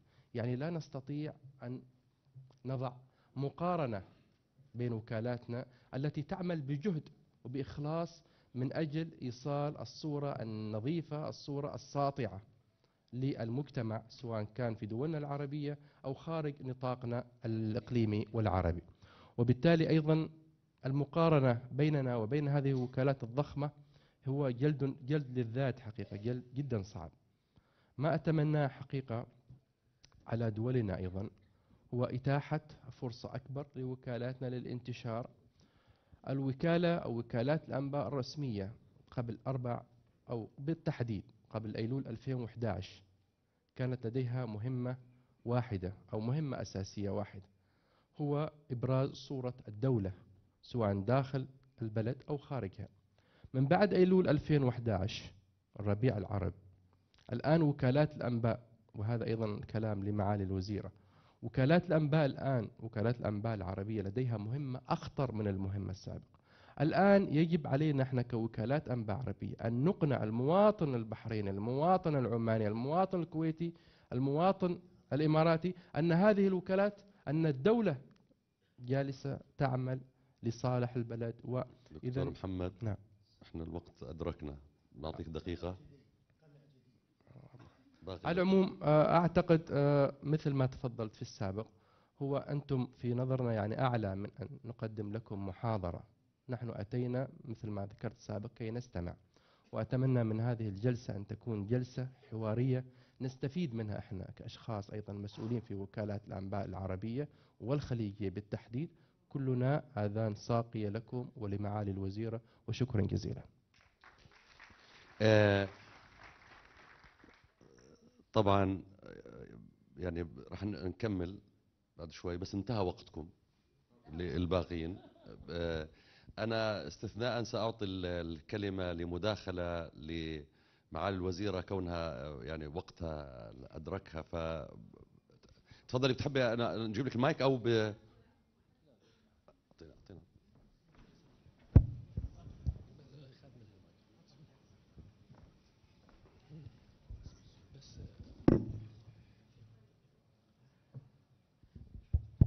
شكرا آه، سيد آه، الأخ العزيز فيصل والحضور الكريم ال- على المنصة.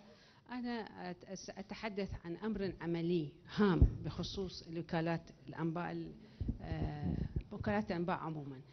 تتحدثون كثيرا في شأن نظري ويستغرقنا النظري كثيرا فإحنا آه، فيصبح أو يزيد القصور عندنا. أنا أتحدث كوزيرة إعلام أنا مسؤولة عن الأمن الإعلامي لبلدي ومصالح بلدي. أنا أتحدث عن وكالات أنباء عالمية كما ذكرت آه، سعادتك آه، ثلاث وكالات عالمية كبرى اليوم هي التي تدير الرأي العام العالمي بشكل عام.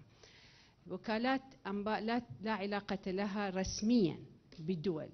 هي وكالات أنباء غير رسمية ولكن آه، تدير إعلام خطير جدا. آه، أنا سأعطي مثال واحد. آه، هذه الوكالات آه، هي مفروضة فرض في كل دول العالم ويجب أن يكون لها مراسلين.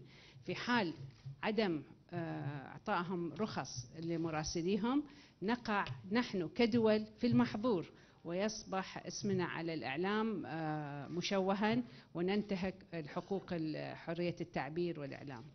وإذا أعطينا رخص لمراسلين واليوم هذه هؤلاء المراسلين موجودين يعني ندخل أيضا في أخطار أخرى لأن هناك أخبار كاذبة وملتوية تتداول عبر عن دولنا في هذه الوكالات. الآن آه، أداء جديد لهذه الوكالات خصوصا في السنوات الأخيرة. آه، تصر أن تكون أن يكون مراسليهم آه، بدون استثناء يخصون طوائف معينة. أنا أتعامل مع مع واقع أعيشه حاليا في منطقتي من طوائف معينة ومن توجهات معينة ومن أحيانا من عروق معينة. هذا ملاحظة آه، يعني سائدة. آه، آه، عندما تخرج الأخبار من مواقعها التي تأتي من من من الوكالات دائما الإمضاء يكون هناك اسم المراسل المحلي. وغالبا عندما نسأل المراسل المحلي هل أنتم كتبتوا هذا الكلام الخاطئ اللي مو واقعي تماما ليس له وجود وغالبا ما ينكر المراسل يقول لم أكتب هذا الكلام تقريري كان مختلفا ويرسل تقرير إلى الوكالة وهذه الوكالة تبعثها إلى إلى ال- ال- الطاولات الخلفية وتخرج التقارير بمعلومات أخرى. ه- أنا هذا مثال من الأمثلة و- ومستمرة وغليظة وخطيرة وخطيرة. آه، وإحنا نتابع وإحنا كمسؤوليات رسمية علينا أن نتابع ونتعامل مع هذا الأمر مهنيا. وأرسلنا رسائل وتقارير إلى بعض الوكالات. وذكرنا أن هناك أداء إعلامي يؤدي إلى فتن طائفية في بلداننا.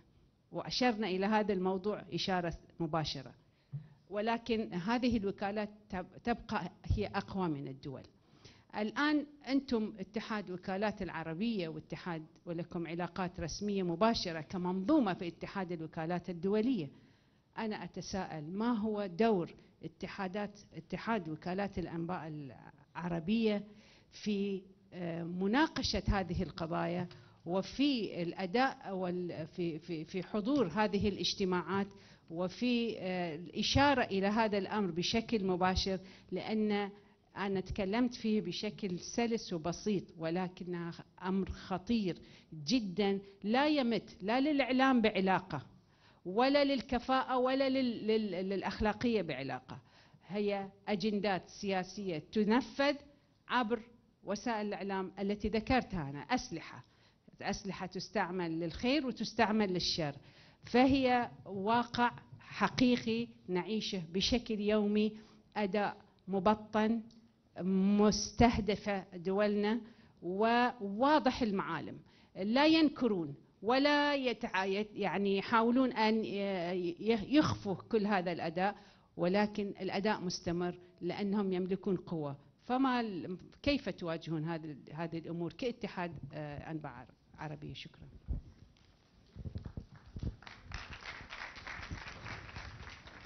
تسمح لي تسمح لي صاحب السعادة ال- وزيرة الإعلام النقاط اللي أشرتيها هي نقاط مهمة في وكالة أنباء. ونحن منذ كنا طلبة في المقاعد كزملائنا الآن الموجودين كنا نتعلم أنهم يس- يدسون السم في العسل. هذا تعلمناه من الصحافة. نحن في اتحاد وكالات الأنباء العالمية. ومع الدكتور عضو. إحنا آه، دك- آه، آه، والدكتور معي نطالب في أكثر من اجتماع دولي وكان آخر بالرياض بالالتزام بالحيادية والالتزام بالأخلاقية ولكنها تؤخذ في الاجتماعات بنعم ولكن بالفعل زي ما تفضلتي آه، يختلف. إحنا أعتقد دورنا كوكالات أنباء كيف نحمي أبنائنا وشعوبنا من هذا من هذا الغزو ال- ال- الإخباري الفكري. ال- اليوم دور الوكالات دور مهم. ليس على بث الأخبار المشتركين من صحف وتلفزيونات بل كيف نصل إلى الجمهور. لدينا اليوم وسائل التواصل الاجتماعي مهمة. اليوم من سن 20 إلى 40 سنة يطلع على آه، الأخبار ومصادره عبر وسائل التواصل الاجتماعي. يجب على وكالاتنا التواجد وإنشاء أقسام خاصة بالتواصل الاجتماعي حتى آه، يكون هناك قرب من الشباب والشباب أو من المتلقي عبر وسائل التواصل الاجتماعي. هذا أقدر آه، شيء نقدر نحمي فيه أولا ونوصل ال- ال- ال- المعلومة الصحيحة لأبناء بلداننا. أما الدول هذه فأكثر من مرة نطرح هذا الموضوع ويقبل في اجتماعاته ولكن آه، قد لا يطبقونه في أعمالهم. ما الدكتور عنده؟ شكرا. يعني آه، معالي الوزيرة قد يكون السؤال مشروع أو أكيد هو مشروع ولكن ربما يعني في عناوين الندوة لو- لو تشعبنا سنطرح أخلاقيات وسائل الإعلام العربية هذا أولى. يعني ليش نتكلم إحنا على الوكالات العالمية وأخلاقياتها؟ أخلاقيات وسائل الإعلام العربية اليوم محل سؤال. وهي اللي بصراحة هي التي تؤثر سلبا في المزاج العربي بشكل عام وتؤجج الصراعات والفتن الطائفية وكل هذا. إذا أردنا أن يعني نمتلك الجرأة الكافية لنتحدث عنهم الآخر لدينا مشكلة مع الآخر تاريخيا. ولكن مشكلتنا مع أنفسنا اليوم.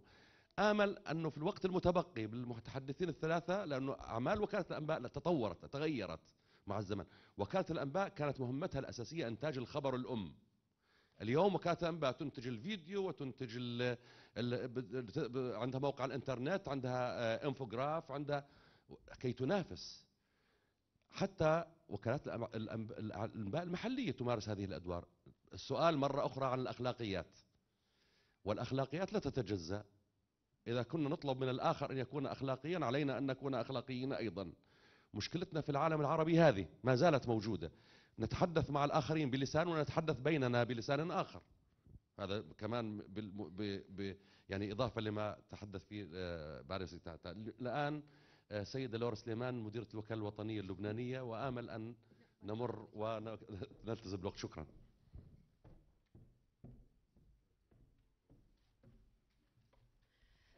معالي وزيرة الدولة لشؤون الإعلام سعادة السفراء ممثل الجمهورية اللبنانية سعادة القائم بالأعمال الأستاذ إبراهيم عساف سعادة آه، معالي رئيس الاتحاد سعادة رئيس الجامعة زملائي رؤساء الوكالات العربية أيها الحفل الكريم. بداية أود أن أهنئ مملكة البحرين على نجاح الانتخابات ويهمني أن أقول أنه لمن دواعي سروري أن أشارك مع زملائي مديري الوكالات في هذه الندوة التي آمل أن تزيدنا إصرارا على المضي في عملية تطوير الإعلام الرسمي ومواكبته التطور التكنولوجي بما يمكنه من أداء دوره كاملا على صعيد التزامه الموضوعية والدقة في نقل الخبر الصحيح والموثوق به. بداية أود أن أشكركم على حضوركم هذه الندوة.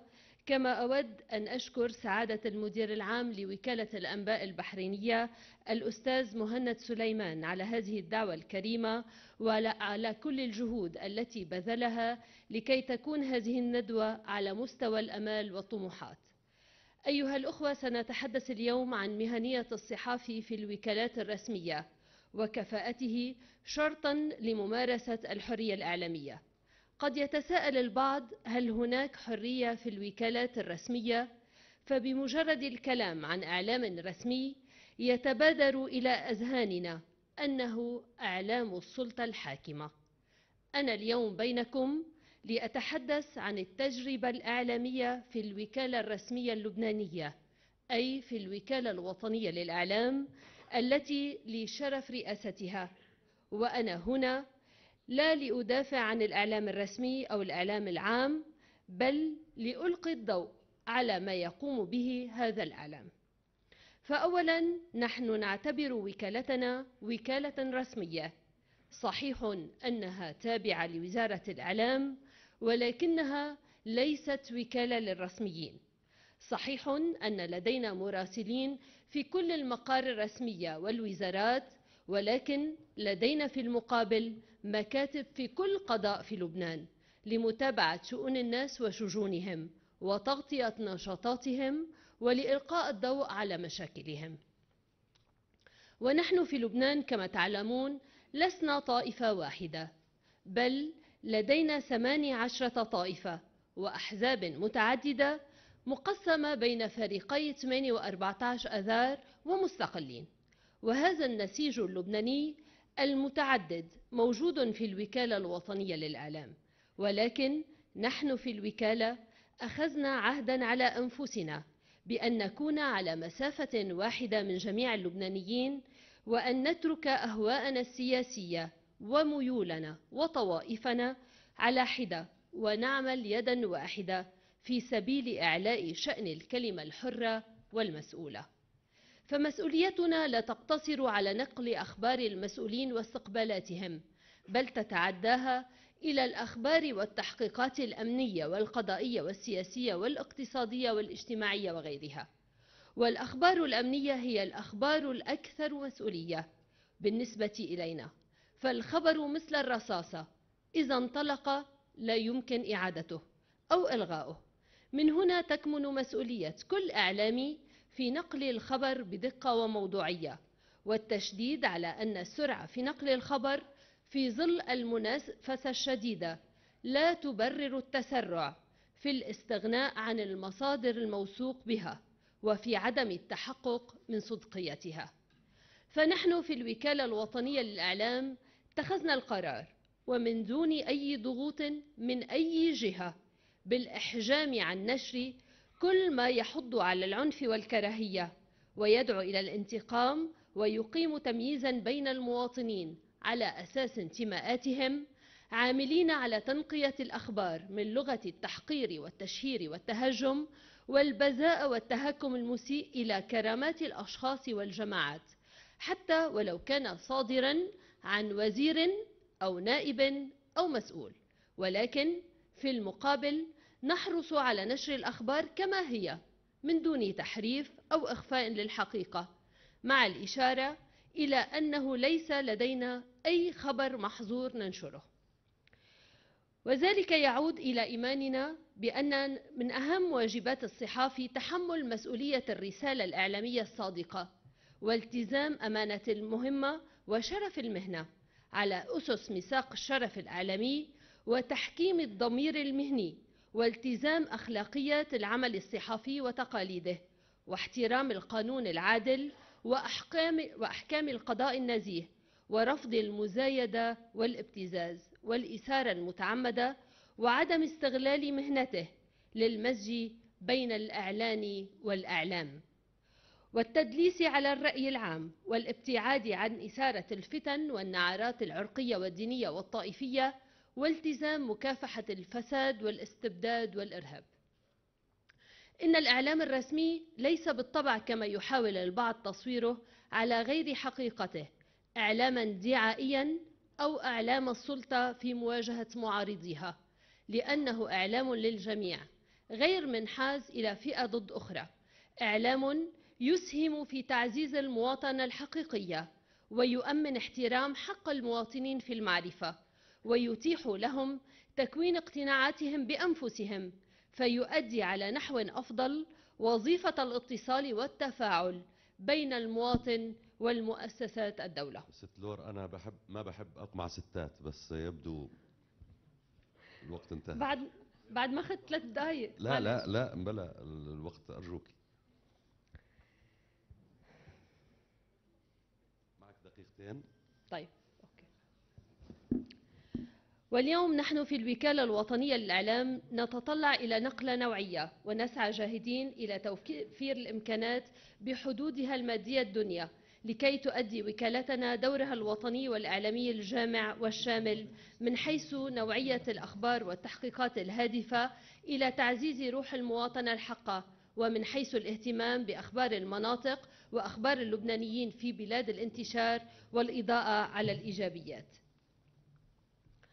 لقد نجحنا كفريق عمل في جعل الوكالة تتعامل مع الأخبار بتجرد وموضوعية من دون أن تكون طرفا أو محسوبة على طرف دون الآخر بل أن تكون لجميع اللبنانيين بلا انحياز.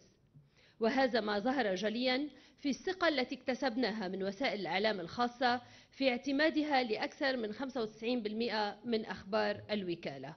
فمتى استطعنا أيها الأخوة القيام بدورنا التحفيزي والمراقب والموجه نتوصل إلى قيامنا بالدور المطلوب منا من حيث التزام سلم قيم يسهل تطبيقه ويمكن أن يكون نموذجا للإعلام الآخر الذي يعتبر نفسه في بعض الأحيان غير مقيد بضوابط وسلوكيات تتعارض في أغلب الأحيان مع شرعة الأخلاق المهنية التي أعتبرها الأساس الصالح لنجاح أي إعلام في تأدية دوره على أكمل وجه. يعني طلبا لرغبة أستاذ فيصل أنا رح أنهي كلمتي. بدي أشكركم مجددا. شكرا. آه، آه، لمدير عام وكالة الأنباء اليمنية الأستاذ طارق الشامي أيضا آه، كلمة في هذا المجال. هذا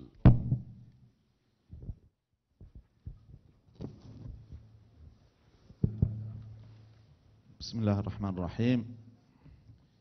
أشكر الإخوة الأشقاء في مملكة البحرين ومعالي الوزيرة ووكالة أنباء البحرين على استضافة الجمعية العمومية الثانية والأربعين.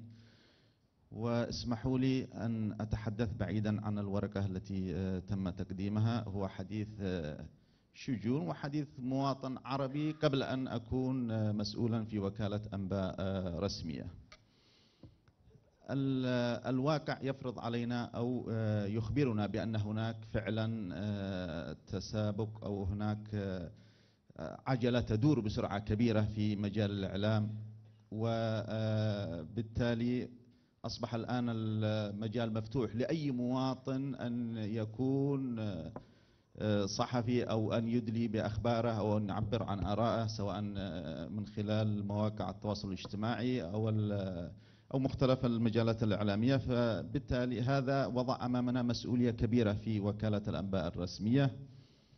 أن نجاري آه، هذا التطور وأن نعمل فعلا على آه، السير إلى جانبه إن لم يقول تجاوزه ولكن للأسف حتى الآن آه، لا تزال وكالة الأنباء الرسمية متراجعة كثيرا. صحيح أن وكالة الأنباء الرسمية هي الأدق والمعلومات الصحيحة تصدر عنها ويشعر العامل أو الصحفي في وكالة الأنباء بأن لديه مسؤولية كبيرة تجاه وطنه تجاه أمته وحيث أن الصحفي رأس ماله هو مهنيته سواء كان في وكالة أنباء أو كان في أي وسيلة إعلامية أخرى.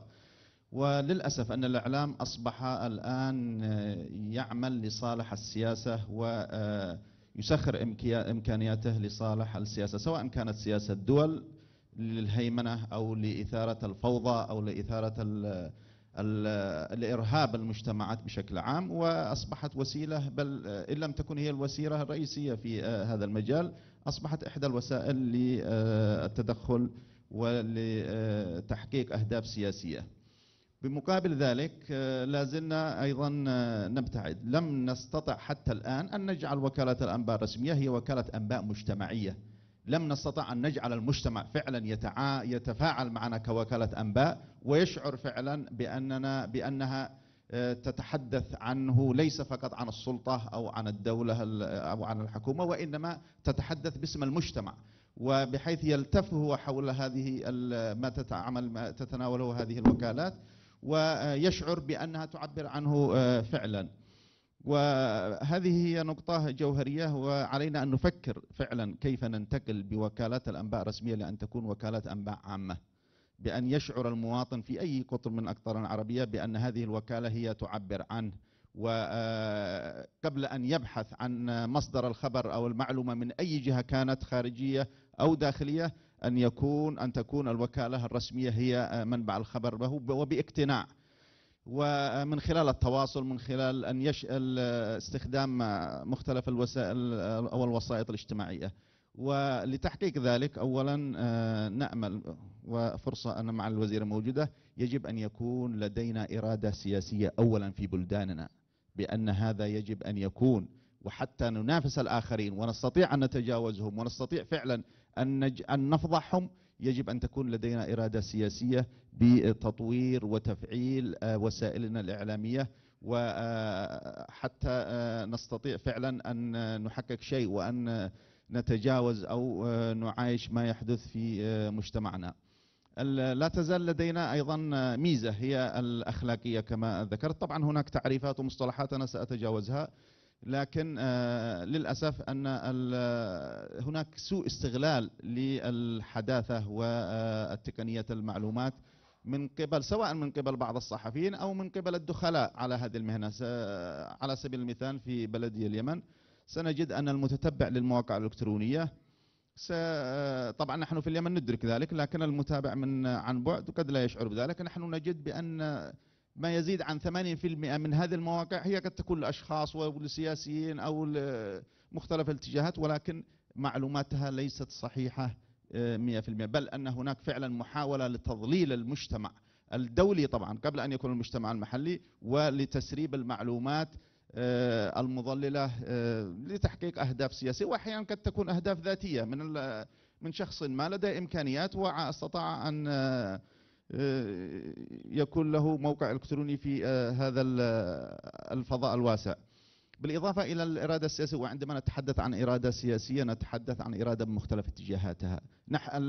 يوجد شكوى من قبل السياسيين في دولنا بأن الإعلام آه، يعمل على التدخل وعلى إثارة الفوضى وعلى التضليل ولكن بالمقابل ماذا قدمت للإعلام في بلدك؟ ماذا قدم سواء كانت وكالة أنباء أو أي وسيلة إعلامية أخرى. الإعلام يجب أن يكون هناك إمكانيات كاملة. نحن نقول أن الإعلام آه، على سبيل المثال في معظم دولنا آه، سنجد أن الإنفاق على الجيش أو على الأمن آه، يعني مبالغ كبيرة وهائلة. وفي المقابل الإنفاق على الإعلام هي لا, يعني لا يمكن مقارنتها بما يحدث في مختلف المجالات. مع أننا ندرك بأنها فعلا هي تعتبر وسيلة من وسائل الحفاظ على أمن الأمن الوطني. فمطلوب أن يكون هناك فعلا نظرة جادة أن تكون هناك إمكانيات متاحة أن يكون هناك أيضا آه، نوع من آه، آه، تطوير في المنظومة القوانين والأنظمة ال- بحيث يكون هناك فعلا آه، حماية كاملة للعاملين في هذا الوسط أن يكون هناك نوع من الانفتاح والتطور. أن يكون هناك أيضا نوع من التأهيل للعاملين في الوسط الإعلامي سواء في وكالة الأنباء أو آه، مختلف الوسائل. وبالمقابل أن يكون هناك أيضا آه، بدرجة رئيسية تأهيل للكادر الصحفي بتأهيل بمعنى آه، أن يتجاوز أو أن يستطيع فعلا التعامل مع ما يحدث في العالم وكيفية إيصال الرسالة الإعلامية. وبالمقابل على الصحفي أيضا مسؤولية سواء كان في وكالة أنباء أو في مؤسسة إعلامية أخرى. أولا أن يشعر أنه مواطن ينتمي لهذا الوطن بغض النظر عن أي شيء آخر. وبالتالي إذا عمل في هذا الإطار وأن هناك قوانين تحفظ حقه في التعبير عن رأيه وفي إيصال المعلومات بحيادية أعتقد بأننا سنساعده على أن يعمل وعلى أن يبدع وعلى أن يطور من آلية عمله. عندما نتحدث أيضا على القوانين والأنظمة التي تنظم هذا الشيء لا يكفي بأن نصدر هذه القوانين وبالتالي لا يكون هناك آه، تنفيذ عملي في الميدان. آه، هناك نصوص أعتقد دستورية وقانونية. أنا أتحدث عن اليمن. هناك نصوص دستورية وقانونية متطورة فيما يتعلق بالمعلومات ما يتعلق بحرية التعبير ما يتعلق أيضا ب- حتى في آه، نقطة هي أثارت آه، آه، ت- انتباهي أن هناك أيضا آه، بأنه لا لا يجوز إجبار الصحفي على آه، لا يجوز أيضا آه، أن للصحفي الحق في الامتناع عن الكتابة أو إعداد مواد صحفية تتنافى مع معتقداته وآرائه وما لا يرضاه ضميره الصحفي. هذا موجود كنص لكن عندما نأتي إلى التطبيق العملي سنجد بأنه أي صحفي يرفض ممارسة أي شيء بأنه يعاقب. وبالتالي علينا أن نوجد نوع من الوعي القانوني وسواء على المستوى ال- مختلف المستويات القيادية وأيضا الوسطية وكذلك الصحفية. وأعتقد أننا إذا عملنا بهذا الشيء سنستطيع أن نجعل المجتمع يتفاعل معنا ويكون إلى جانبنا وشكرا لكم. آه، شكرا. ال- الوحيد الذي لم يقمع لأنه آه، ومسك الختام مع الدكتور تيسير أبو عرجة عميد آه، كلية الإعلام في جامعة البتراء الأردنية. تفضل دكتور.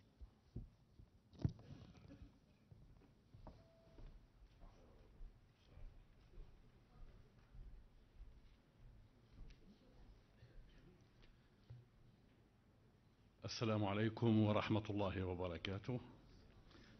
يسعدني أن أكون بينكم هذا اليوم وأنا لست عاملا في وكالات الأنباء. أنا أستاذ جامعي أدرس الإعلام. آه، محررو وكالات الأنباء والمحررون الصحفيون المتخصصون في الوكالات.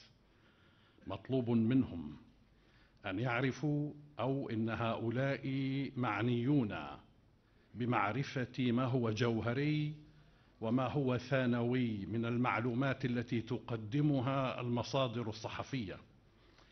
البناء المنطقي السليم للخبر كفاءة بناء المقدمات الإخبارية إشكالية الفصل بين الخبر والتعليق مدى الحياد والإنصاف في التغطية الإخبارية إزاء جماعات المصالح والأحزاب. والتنظيمات المختلفة كيفية التفريق بين الفنون الصحفية وما هو موقع الخبر منها استيعاب أساليب التحرير التي تطبقها الوكالة المواءمة بين الإعلام التقليدي والإعلام الجديد القدرة على إدارة الحوارات السياسية والاجتماعية القدرة على إجراء المقابلات الصحفية المهمة مع الرموز المؤثرة في الرأي العام التحرير الإخباري المتوازن الذي يحفظ التوازن داخل المجتمع بتركيبته السكانية والاجتماعية إشكالية مواجهة النقص في المعلومات عندما تتطلب التقارير الإخبارية مثل هذه المعلومات استيعاب ثقافة المجتمع والعوامل المؤثرة في الرأي العام المحلي. التمتع بالمهنية الصحفية العالية المتمثلة باختيار الشخصيات المناسبة للمقابلات الصحفية والتصريحات الصحفية وإجراء التحقيقات الصحفية من خلال دراسة موضوع التحقيق وإعداد المواد الأولية اللازمة ورسم خطته المحكمة قبل الانطلاق. إلى ميدان المقابلات. إجادة اختيار مواضيع الحوارات في القضايا الحيوية وهناك قضايا يتم اختيارها في بعدها الآني الملح وتلك التي تأخذ أبعادا متصلة الأهمية. وإن كانت ذات تاريخ طويل الانتباه إلى ذلك النوع المهم من الأحاديث الصحفية وهو, حد وهو حديث الشخصية لأن مفاتيح الحياة بأيدي الناس من صانعي الأخبار وصانعي النجاحات وصانعي الأزمات كذلك. الحذر من التضليل الذي يمارسه بعض المتحدثين في تقديم معلومات منقوصة أو تلميع للذات أو طعنا في الخصوم. الحذر من أولئك الشخصيات العدمية الناقمة الرافضة وغير الإيجابية التي لا ترى في الأفق أي شيء يمكن أن ينوه عنه من الإنجازات. الدقة في اكتشاف الأسئلة الصحفية والصياغة السليمة لها والدقة في الاقتباس والعزو إلى الشخصيات مما يرد على ألسنتهم من التصريحات. أهمية التركيز على النقاط الجوهرية في الأحداث.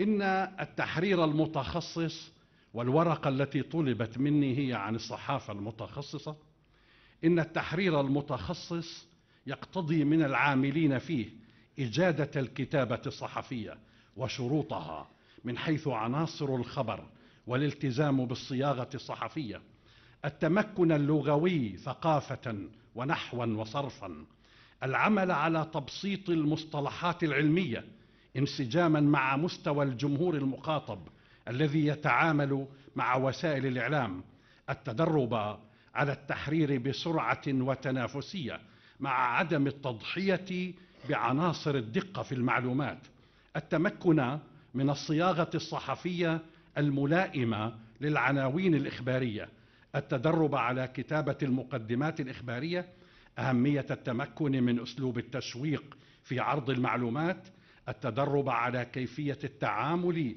مع الوثائق التدرب على كيفية تغطية الندوات والمؤتمرات الصحفية.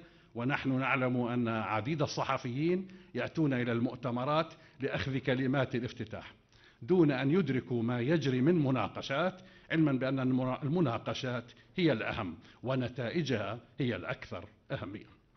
إن على المحرر الانخراط بقوة في الميدان المتصل باختصاصه وعليه كذلك بناء ثقافة متخصصة وعليه كذلك التوسع إن على الوكالات التوسع في مجالات التحرير المتخصص من صحة وتكنولوجيا وثقافة ونقد وطاقة وتعليم وزراعة واقتصاد وكل ما يتصل بأدوات الإنتاج والمرافق وأشكال التجارة والصناعة ونسق الإنتاج السائد في المجتمع إضافة إلى الفنون والآداب والتراث والسياحة خصوصا مع تعدد وسائل الإعلام والدور الذي تأخذه شبكات الاتصال الاجتماعي من المساحة الزمنية في حياة الناس رغم التفاوت في مستويات ما تنشره من مواد كتابية ومصورة وفيلمية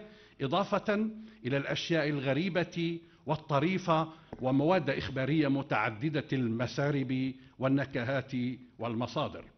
ونتساءل هل يمكن لمعاهد الإعلام وكلياته في الوطن العربي تخريج الصحفيين المتخصصين في فروع الأخبار والأنشطة الثقافية والعلمية؟ وفي الحق فإن هذه الكليات بمناهجها الراهنة تخرج القادرين على القيام بأعمال المندوبين الصحفيين العامين الذين يحتاجون إلى تأهيل نظري وعملي يؤهلهم في العمل التحريري المتخصص. أما فيما يتصل بالمراسلين فالأمر يتعلق بالتأهيل العلمي المناسب الذي يؤهلهم للالتحاق بهذه المهنة استيعاب ثقافة المجتمع الذي يتواجدون فيه وتركيبته الاجتماعية والسياسية والعوامل المؤثرة في الرأي العام استيعاب الموقف السياسي في كلا البلدين بلده الأصلي والبلد الذي يعمل فيه مراسلا أهمية البحث عن الحقائق والحياد في عرضها أمام الجمهور في تقاريره الصحفية استيعاب التحديات المهنية التي تتصل بمدى تعبير التصريحات الصحفية عن مصالح الفئات والجماعات والتفريق بين التقارير الإعلامية والتقارير الدعائية. التريث عند استلام المعلومات الأولية بانتظار ما يوضحها أو يكملها أو يغطي الفراغات المعلومية المعلوماتية فيها. القدرة على الكتابة الصحفية لأن أي شطط لغوي غير سليم أو غير دقيق يعطي الوقائع معاني مغايرة ويوقع المراسل في مطبات مهنية. العناية بالقراءة الفعالة للوثائق في أبعادها المحلي والعربي والدولي. لدي صفحة دقيقة واحدة. أقول قولي هذا وأستغفر الله لي ولكم.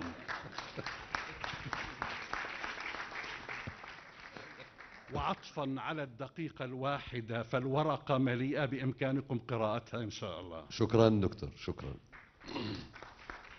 آه الآن آخر أربع صفوف. تفضل. السلام عليكم ورحمة الله وبركاته. السلام. آه، مدراء ورؤساء وكالة الأنباء أصحاب السعادة والمعالي رحب فيكم في جامعة البحرين. وجودكم هنا هو شرف لنا وشرف لطلبة آه، نادي الإعلام وطلبة آه، الجامعة بشكل عام. آه، أنا عندي سؤال أوجهه للدكتور مسامحة. الدكتور فريد. نعم. يا مرحبا وسهلا. آه، سؤال يقول أن بعض المؤسسات الإعلامية حاولت آه، يعني أنها تكون أو تحط مواثيق آه، أخلاقية ومهنية في مؤسسات الإعلامية. هل في المستقبل راح تكون هناك وثيقة كاملة شاملة لوكالة الأنباء العربية تحدد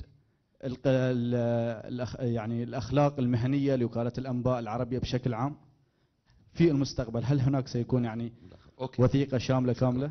شكرا. شكرا. تفضل. أو تفضل تفضل تفضلي ستي. السلام عليكم جميعا في البحرين آه، بلد الانتخابات الجميلة والناجحة. آه، نرحب بكم في البحرين. أنا بدور المالكي مراسلة مجلة سيدتي وصحفية في وكالة أنباء البحرين صحفية في جريدة البلاد. نعاني كثيرا في الجرائد وجود المتدربين الشباب خريجي الخريجي ال- الجامعات وكليات الإعلام.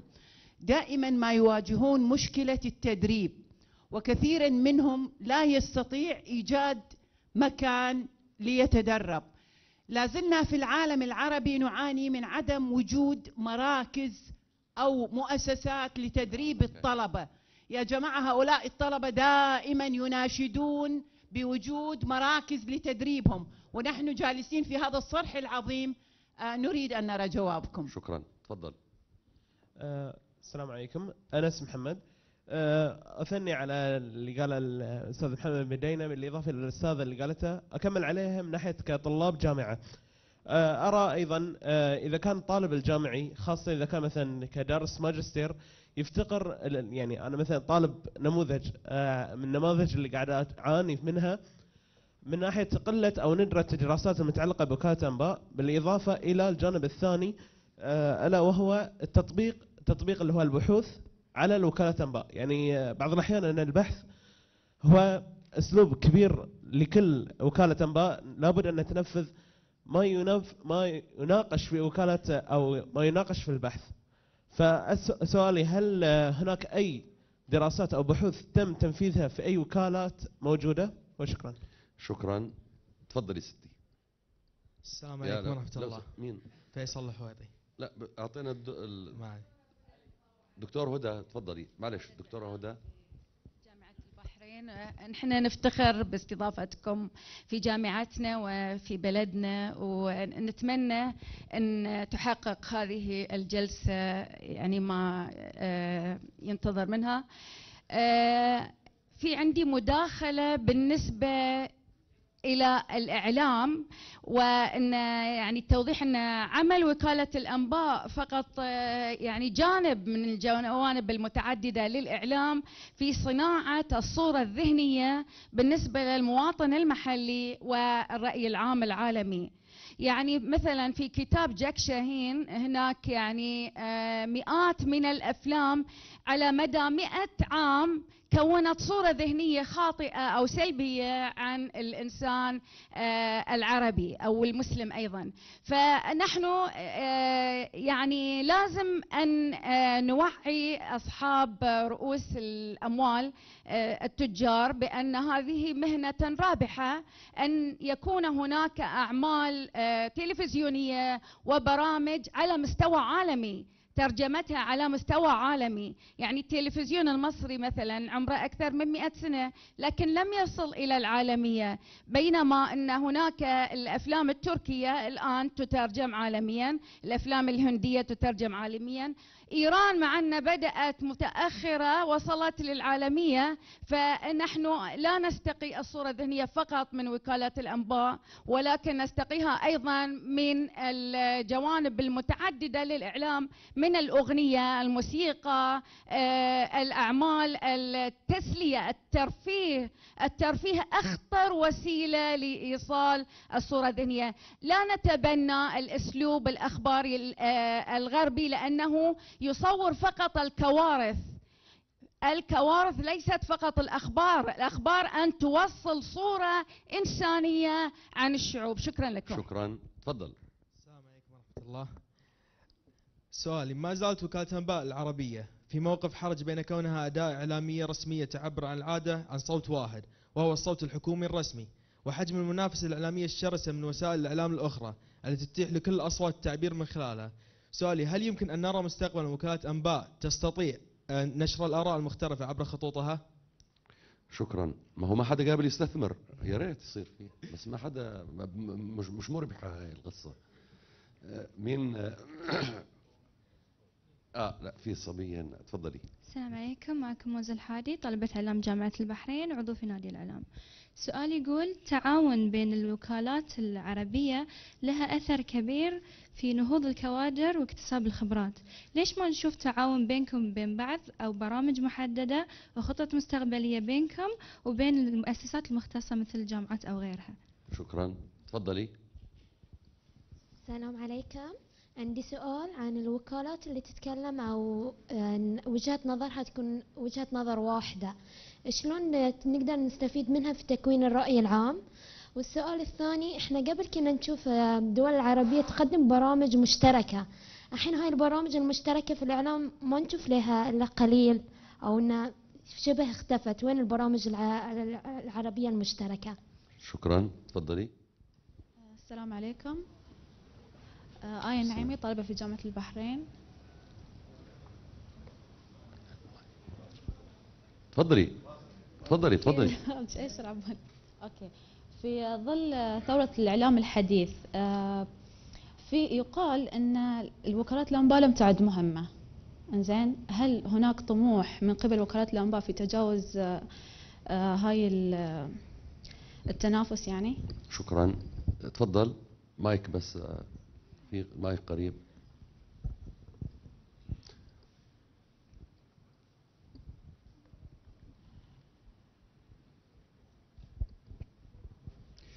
بسم الله الرحمن الرحيم. دكتور رضا أمين أستاذ الإعلام المشارك بجامعة المملكة.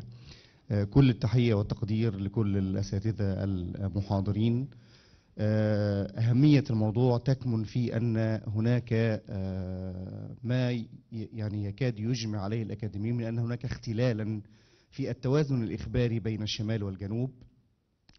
أمام هذه الإشكالية لماذا لم تقم وكالات الأنباء العربية مجتمعة بمثلا قيام ما يمكن وكالة أنباء عربية قوية تنافس آه، الوكالات الكبرى الخمس رويترز وايجنس فرنس بريس والاسوشيتد بريس ويونايتد بريس انترناشونال وغيرها هل من الممكن أن تكون يعني إحنا عندنا 22 دولة عربية تقريبا عندنا مثلا يمكن 20 وكالة آه، هل بالإمكان أن تكون كل هذه الوكالات تجتمع في وكالة واحدة ويكون لها كيان قوي يكون لها مكاتب منتشرة في العالم تستطيع أن تنافس الوجود الإخباري للقنوات الكبرى لأننا لا يمكن أن نجلس ونشتكي أن هناك يعني ظلما من الوكالات ال- الكبرى في تغطيتها الإخبارية لنا ونحن عاجزين عن تغطية بعض ال- ال- التقارير الإخبارية التي تقع في دولنا وفي منطقتنا. شكرا آه، جزيلا. شكرا. آخر سؤال. آه لسه كمان. طيب. عندك. آخر آخر صف.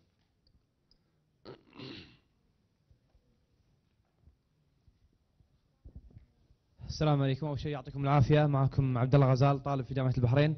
أنا طبعا أنا سؤالي الآن آه، بما أنكم آه، آه، شو اسمه وكالات الأنباء في الوطن العربي بالنسبة للقضايا اللي تصير في الوطن العربي من مثلا من حروب من كوارث من أزمات ما يحدث في سوريا في فلسطين من شتى الأزمات. ليش للأسف الآن في الوطن العربي على كل الأزمات اللي تصير وكل القضايا اللي تصير للأسف مواقع التواصل الاجتماعي يعني تنشر لنا الأخبار وتوصل لنا المعلومات اولا بأول قبل ما قبل ما نعرفها من وسائل الإعلام. وأيضا للأسف تجينا من وسائل إعلام ورسميه ووسائل آه، إعلام وطنية يعني يعني تأتي بأخبار مغايرة تماما لما نراه من وسائل التواصل الاجتماعي من أشخاص في قلب الحدث يعني. بس هاي سؤالي. تفضلي. ما اريد اشغله ولا آه، مهم آه، بدوركم أنتم كوكالات آه، أنباء آه، عربية. لاحظنا الكثير الحين في ظل اللي هو الانفتاح على العالم الخارجي أو الع- العالم الآخر الكثير من المشاهد المشاهدين العرب صاروا يتجهون إلى هذه الوكالات الأخرى. فسؤالي الحين ما هو دوركم أنتم كوكالات أنباء عربية في تعزيز القومية العربية لدى الشاب العربي الحديث؟ لأن الحين الكثير من العرب يعني أو الشباب العرب اتجهت أنظارهم وأفكارهم يعني للأسف تشبعت بالفكر الغربي. فما هو دوركم شكراً. أنتم في تعزيز هذه شكرا آه قبل أن أعطي ال- المتحدثين للتعقيب فقط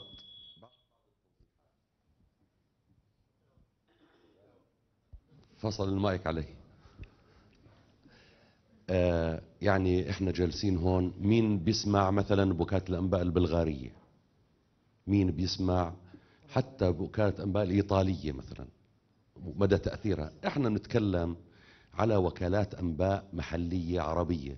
تمثل التنوع العربي والتناقض العربي والاحتكاك العربي والتشوه العربي كله. مشان ما يعني ما ما حدش يجامل حدا في هذا المكان. كل وكالة أنباء تعبر عن سياسة الدولة اللي تابعة لها. موضوع الأثر حجم الأثر.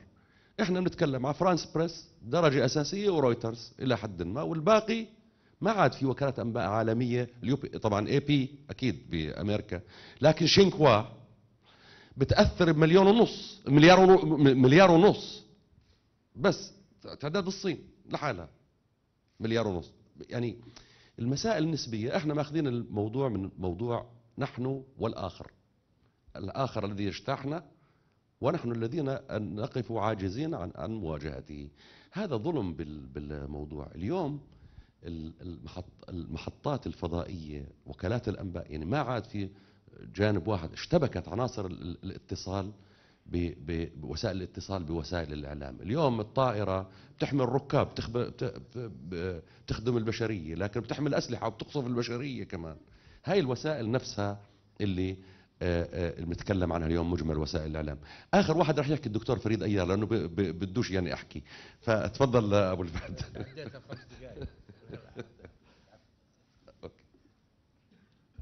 شكرا سيد. شكرا سيدي الرئيس. فقط آه، شكرا خلص الوقت. راح راح أجيب بشكل سريع على آه، ما الزميل اللي آه، ذكر حول ميثاق الشرف آه، حول أخلاقية الصحافة وإما لا يعني حول ميثاق شرف كان عندنا موجود. هو الآن في عام 1984 كتب ميثاق شرف بين وكالات الأنباء بين وكالات الأنباء. لكن الحقيقة يعني آه، في كثير مواثيق شرف إعلامية عربية صاغتها الجامعة العربية ومؤسسات إعلامية أخرى. آه، أنا ذكرت في بداية مداخلتي آه، أنه ليس لمواثيق الشرف الإعلامية التي تحدد أخلاقيات وتصرفات الصحفيين أثناء تأديتهم أعمالهم سوى التزام ونزاهة الصحفيين أنفسهم. بالتالي بعدين موظفي وكالات الأنباء هم موظفين دولة فهم ملتزمين بالقواعد والضوابط الأخلاقية لتلك الدول. ولذلك إحنا فكرنا عدة مرات لصياغة ميثاق شرف جديد وربما نقوم به لكن التطبيق يتم من خلال التزام الآخرين. الآخر السؤال الآخر اللي يتعلق فيه هو ما يتعلق بتدريب الصحفيين. طبعا لدينا إحنا مركز تدريب آه، خاص باتحاد وكالات الأنباء العربية موجود في العاصمة الأردنية عمان. وانتهينا قبل أسبوعين ثلاثة من إقامة دورتين تدريبيتين وشاركت وكالة أنباء البحرين فيها ونقيم في العام دوما يعني منذ 25 عام نقيم دورات تدريبية للصحفيين والعاملين بوكالات الأنباء بشكل خاص ونحن على استعداد للتعاون مع آه، أي مؤسسة إعلامية في دولة البحرين أو في مملكة البحرين أو في أي دولة أخرى لإقامة دورات متخصصة بتلك الدورة. بالنسبة آه، لموضوع اللي أثار الدكتور حول التوازن وموضوع وكالة أنباء عربية. طبعا هذا الموضوع مطروح منذ سنوات في جامعة الدول العربية. لكن أنتم تعرفون أنه وكالات الأنباء العربية هي مؤسسات رسمية تابعة للدولة وتعكس آه، وجهة نظر تلك الدول. ولذلك جمع آه، يعني الوكالة يجب أن تكون ذات نفس واحد. جمع هذه في مؤسسة واحدة من الصعوبة الآن في مكان وأعتقد أنه جامعة الدول العربية أيضا لم تستطع في ذلك ويؤمل في المستقبل عما قريب أنه يجوز نقيم هذه مثل هذه الوكالة. بقى شغل شغلة وحدة تتعلق بما ذكرته معالي الوزيرة حول ما هو دور وكالات الأنباء في آه، لنقول التصدي لوكالات الأنباء العالمية عندما تثير بعض الأخبار التي المشوهة حول الوطن العربي.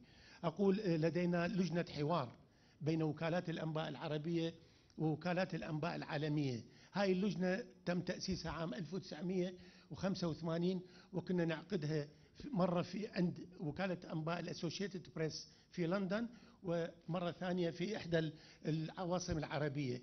كنا نجمع كل الأخبار المسيئة التي تبثها تلك الوكالات ونناقشهم على ذلك ونطلب منهم تصحيحها بالإضافة لذلك كنا, كنا نثير موضوع الاشتراكات. هناك آه، وكالات الأنباء العالمية دائما يعني ترفع اشتراكاتها وهي في بعض الأحيان تكون غير عادلة. لكن الوكالات العالمية كانت تلتف على كافة قرارات هاي اللجنة وتتصل بالوكالات بشكل منفرد وتزيد أسعار نشراتها التي تبيعها لتلك الوكالات. توقفت هاي اللجنة لعدم وجود أي مواضيع نستطيع البحث فيها مع تلك الوكالات وشكرا. شكرا. آه، معالي الفهد. طبعا تساؤلات كثيرة والحوار شيق لكن أخذها في مقتطفات. أعتقد أحد الزملاء سأل عن التدريب تدريب الطلبة. أه، بتكلم عن وكالة أنباء السعودية أه، لديها برامج تدريب لديها مركز تدريب كما لدى كونا مركز تدريب كما عديد من وكالة الأنباء العربية. هناك مراكز تدريب للعاملين وللعاملين بنفس القطاع في سواء في قطاعات حكومية أو طلبة. اتفاقيات بيننا وبين الجامعات أكبر دليل اليوم إحنا الآن بين وكالة انباء البحرين والجامعة هذا التلاحم. وكالة الأنباء نفس السعودية وأعتقد نفس وكالة الأنباء العربية نفس الاتفاق مع الجامعات. الاستفاده من الدراسات. الاخوه اللي تكلموا عن وسائل التواصل الاجتماعي هي أسرع وفي الأخبار صحيح تكون أسرع وأحيانا تكون مضرة لأن إحنا الآن نعاني من الفوتوشوب ونعاني من آه، الأخبار المزيفة. وفي الحقيقة آه، تأتي الأخبار من الوكالات الرسمية. نحن جزء من هذا الفضاء الإعلامي ولكن نتمنى أن نطور أنفسنا ونتمنى أن نصل إلى مشتركين. من المواطنين عبر وسائل التواصل الاجتماعي بمواقع محدثة وسريعة عبر وجودنا في أكثر الفعاليات التي تقام في بلداننا العربية حتى يكون هناك تواصل بين الوكالات والمشتركين. شكرا. آه شكرا. ما من يرغب بدقيقتين. دكتور وبنرجع لعندكم لكان تفضل. اللي بس مداخلة بسيطة للطلبة طلبة الجامعة. الصفة العامة دائما جلد الذات في العالم العربي سواء مستوى طلاب مستوى وزراء مستوى مسؤولين جلد الذات هذا حاضر. قبل 25 سنة كنت أيضا طالب في نفس الكراسي اللي تجلسوا عليها وكان هناك نوع من الاندفاعية تجاه الديمقراطية واتجاه أيضا حرية الإعلام واتجاه أيضا آه، نشاط وكالات الأنباء الضخمة نتحدث عنها. ولكن مع الخبرة مع المراس مع العمل أؤكد على كلام معالي الأستاذة وزيرة الإعلام.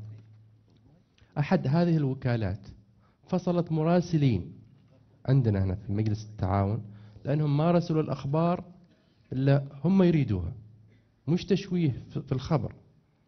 وصل بهذه المؤسسات العريقة التي تدعي الأخلاق وتدعي أيضا الحرية هنا تفصل مراسل في دول مجلس التعاون إنه ما رسل لها الخبر اللي هي تريده اللي هي تتمناه.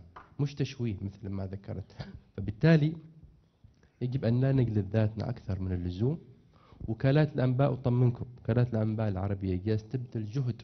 نعمل ليل نهار من أجل أوطاننا ومن أجل إحلال الأمن في منطقتنا. وبالتالي أنتم أيضا رسل. كل واحد فيكم عنده انستغرام وعنده فيسبوك يستطيع أن أيضا يدافع عن بلده. يا جماعة نحن في خير. إذا أنتم استطعتم تحاولوا تساعدوا الدول تساعدوا وكالات الأنباء أيضا في دولكم أنتم هذا واجب عليكم. هذه الوكالات الضخمة ثلاثة والأربعة خمس وكالات عندهم هدف معين والهدف الرئيسي هو زعزعة أمن المنطقة. هذا نقول لكم إياه بكل صراحة. وبالتالي وكالاتنا لن تستطيع نقولها أيضا بكل صراحة لن تستطيع أن تواجه هذه الوكالات. فقط لحمة وتجمع ووجود أيضا أو خلق أو إيجاد مصلحة دولنا في المرتبة الأولى. هو الهدف الأول والرئيس الذي يجب أن نعمل من أجل تحقيقه شكرا. شكرا ست لور. بداية أنا بدي أعلق على السؤال اللي طرحته معالي الوزيرة حول استعمال عبارات بوكالات الأنباء مثل رويترز أو اف آه، نحن كوكالة وطنية آه، عم نكون دقيقين كثير بهيدا الموضوع. اولا في عبارات هي بتستعملهم يمكن لأهداف سياسية أكيد لأهداف سياسية مثل ما قال زميلنا أو لمشروع ما بعرف في هدف من وراه آه، بيستعملوا عبارات عن دول معينة أو عن تنظيمات إرهابية معينة يعني ما بيظهرون إرهابيين. آه، نحن كوكالة وطنية حريصين إنه ننتقل كلمات حتى لو أخذنا الخبر من هال آه، من هالوكالة إنه أخذنا الخبر بس بنتصرف فيه آه، وكمان نحن متبعين سياسة النائب النفس. يعني في مشاكل داخلية بتحصل أو أعمال إرهابية بتحصل داخل دولة معينة آه، نحن كوكالة وطنية بنحيد نفسنا عنها. آه، إضافة أنه في أحد الطلاب سألوا عن أهمية وكالات الأنباء بالتطور التكنولوجي اللي حاصل. أنا بقول لكم أنه دور وكالات الأنباء بهيدا التطور له دور كتير كبير أكثر ما حدا بيتصور. لأنه وكالات الأنباء آه، تبعت آه، يعني آه، واكبت ثورة التكنولوجيا اللي حاصلة. يعني الجرايد بنلاقي فيها تراجع بالمبيع على حساب وكالات الأنباء يلي تطورت إلكترونيا. يعني وكالاتنا الأنباء مع أنها وكالات رسمية وإمكاناتها المادية يمكن تكون ضئيلة ولكن واكبت التكنولوجيا واكبت مواقع التواصل الاجتماعي آه، يعني صار كلها عندها مواقع على آه، الإنترنت آه، عندها تويتر عندها فيسبوك يعني التواصل بيصير مع المواطنين عبر هيك. إضافة في أحد الطلاب سأل إنه ليش الأخبار بتختلف على مواقع التواصل الاجتماعي عن وكالات الأنباء؟ مواقع التواصل الاجتماعي يمكن مواطن عادي يكب خبرية ما تكون صحيحة ولكن مواقع آه، الإخبارية لوكالات الأنباء بتتأكد من الخبر ومن مصدره يعني ما فيها تكب خبرية هيك ممكن تعمل ثورة بالبلد وتكون مش صحيحة. ولكن على التواصل الاجتماعي بكبوا أي خبرية ممكن ما تكون صحيحة. آه، حول بعد في شغلة واحدة بس. آه، تدريب الطلاب. آه، نحن كوكالة وطنية رسمية كتير منشدد على تدريب الطلاب ومنتعاون كتير مع الجامعات.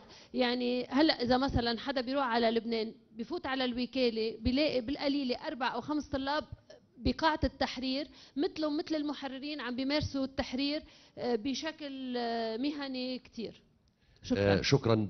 قبل ما أعطي الكلمة الختامية أو الرد الختامي للدكتور تيسير استثناء وانضم لنا لأول مرة في الاتحاد الأستاذ مؤيد اللامي آه، هو نقيب الصحفيين العراقيين ورئيس مجلس إدارة الوكالة الوطنية في العراق.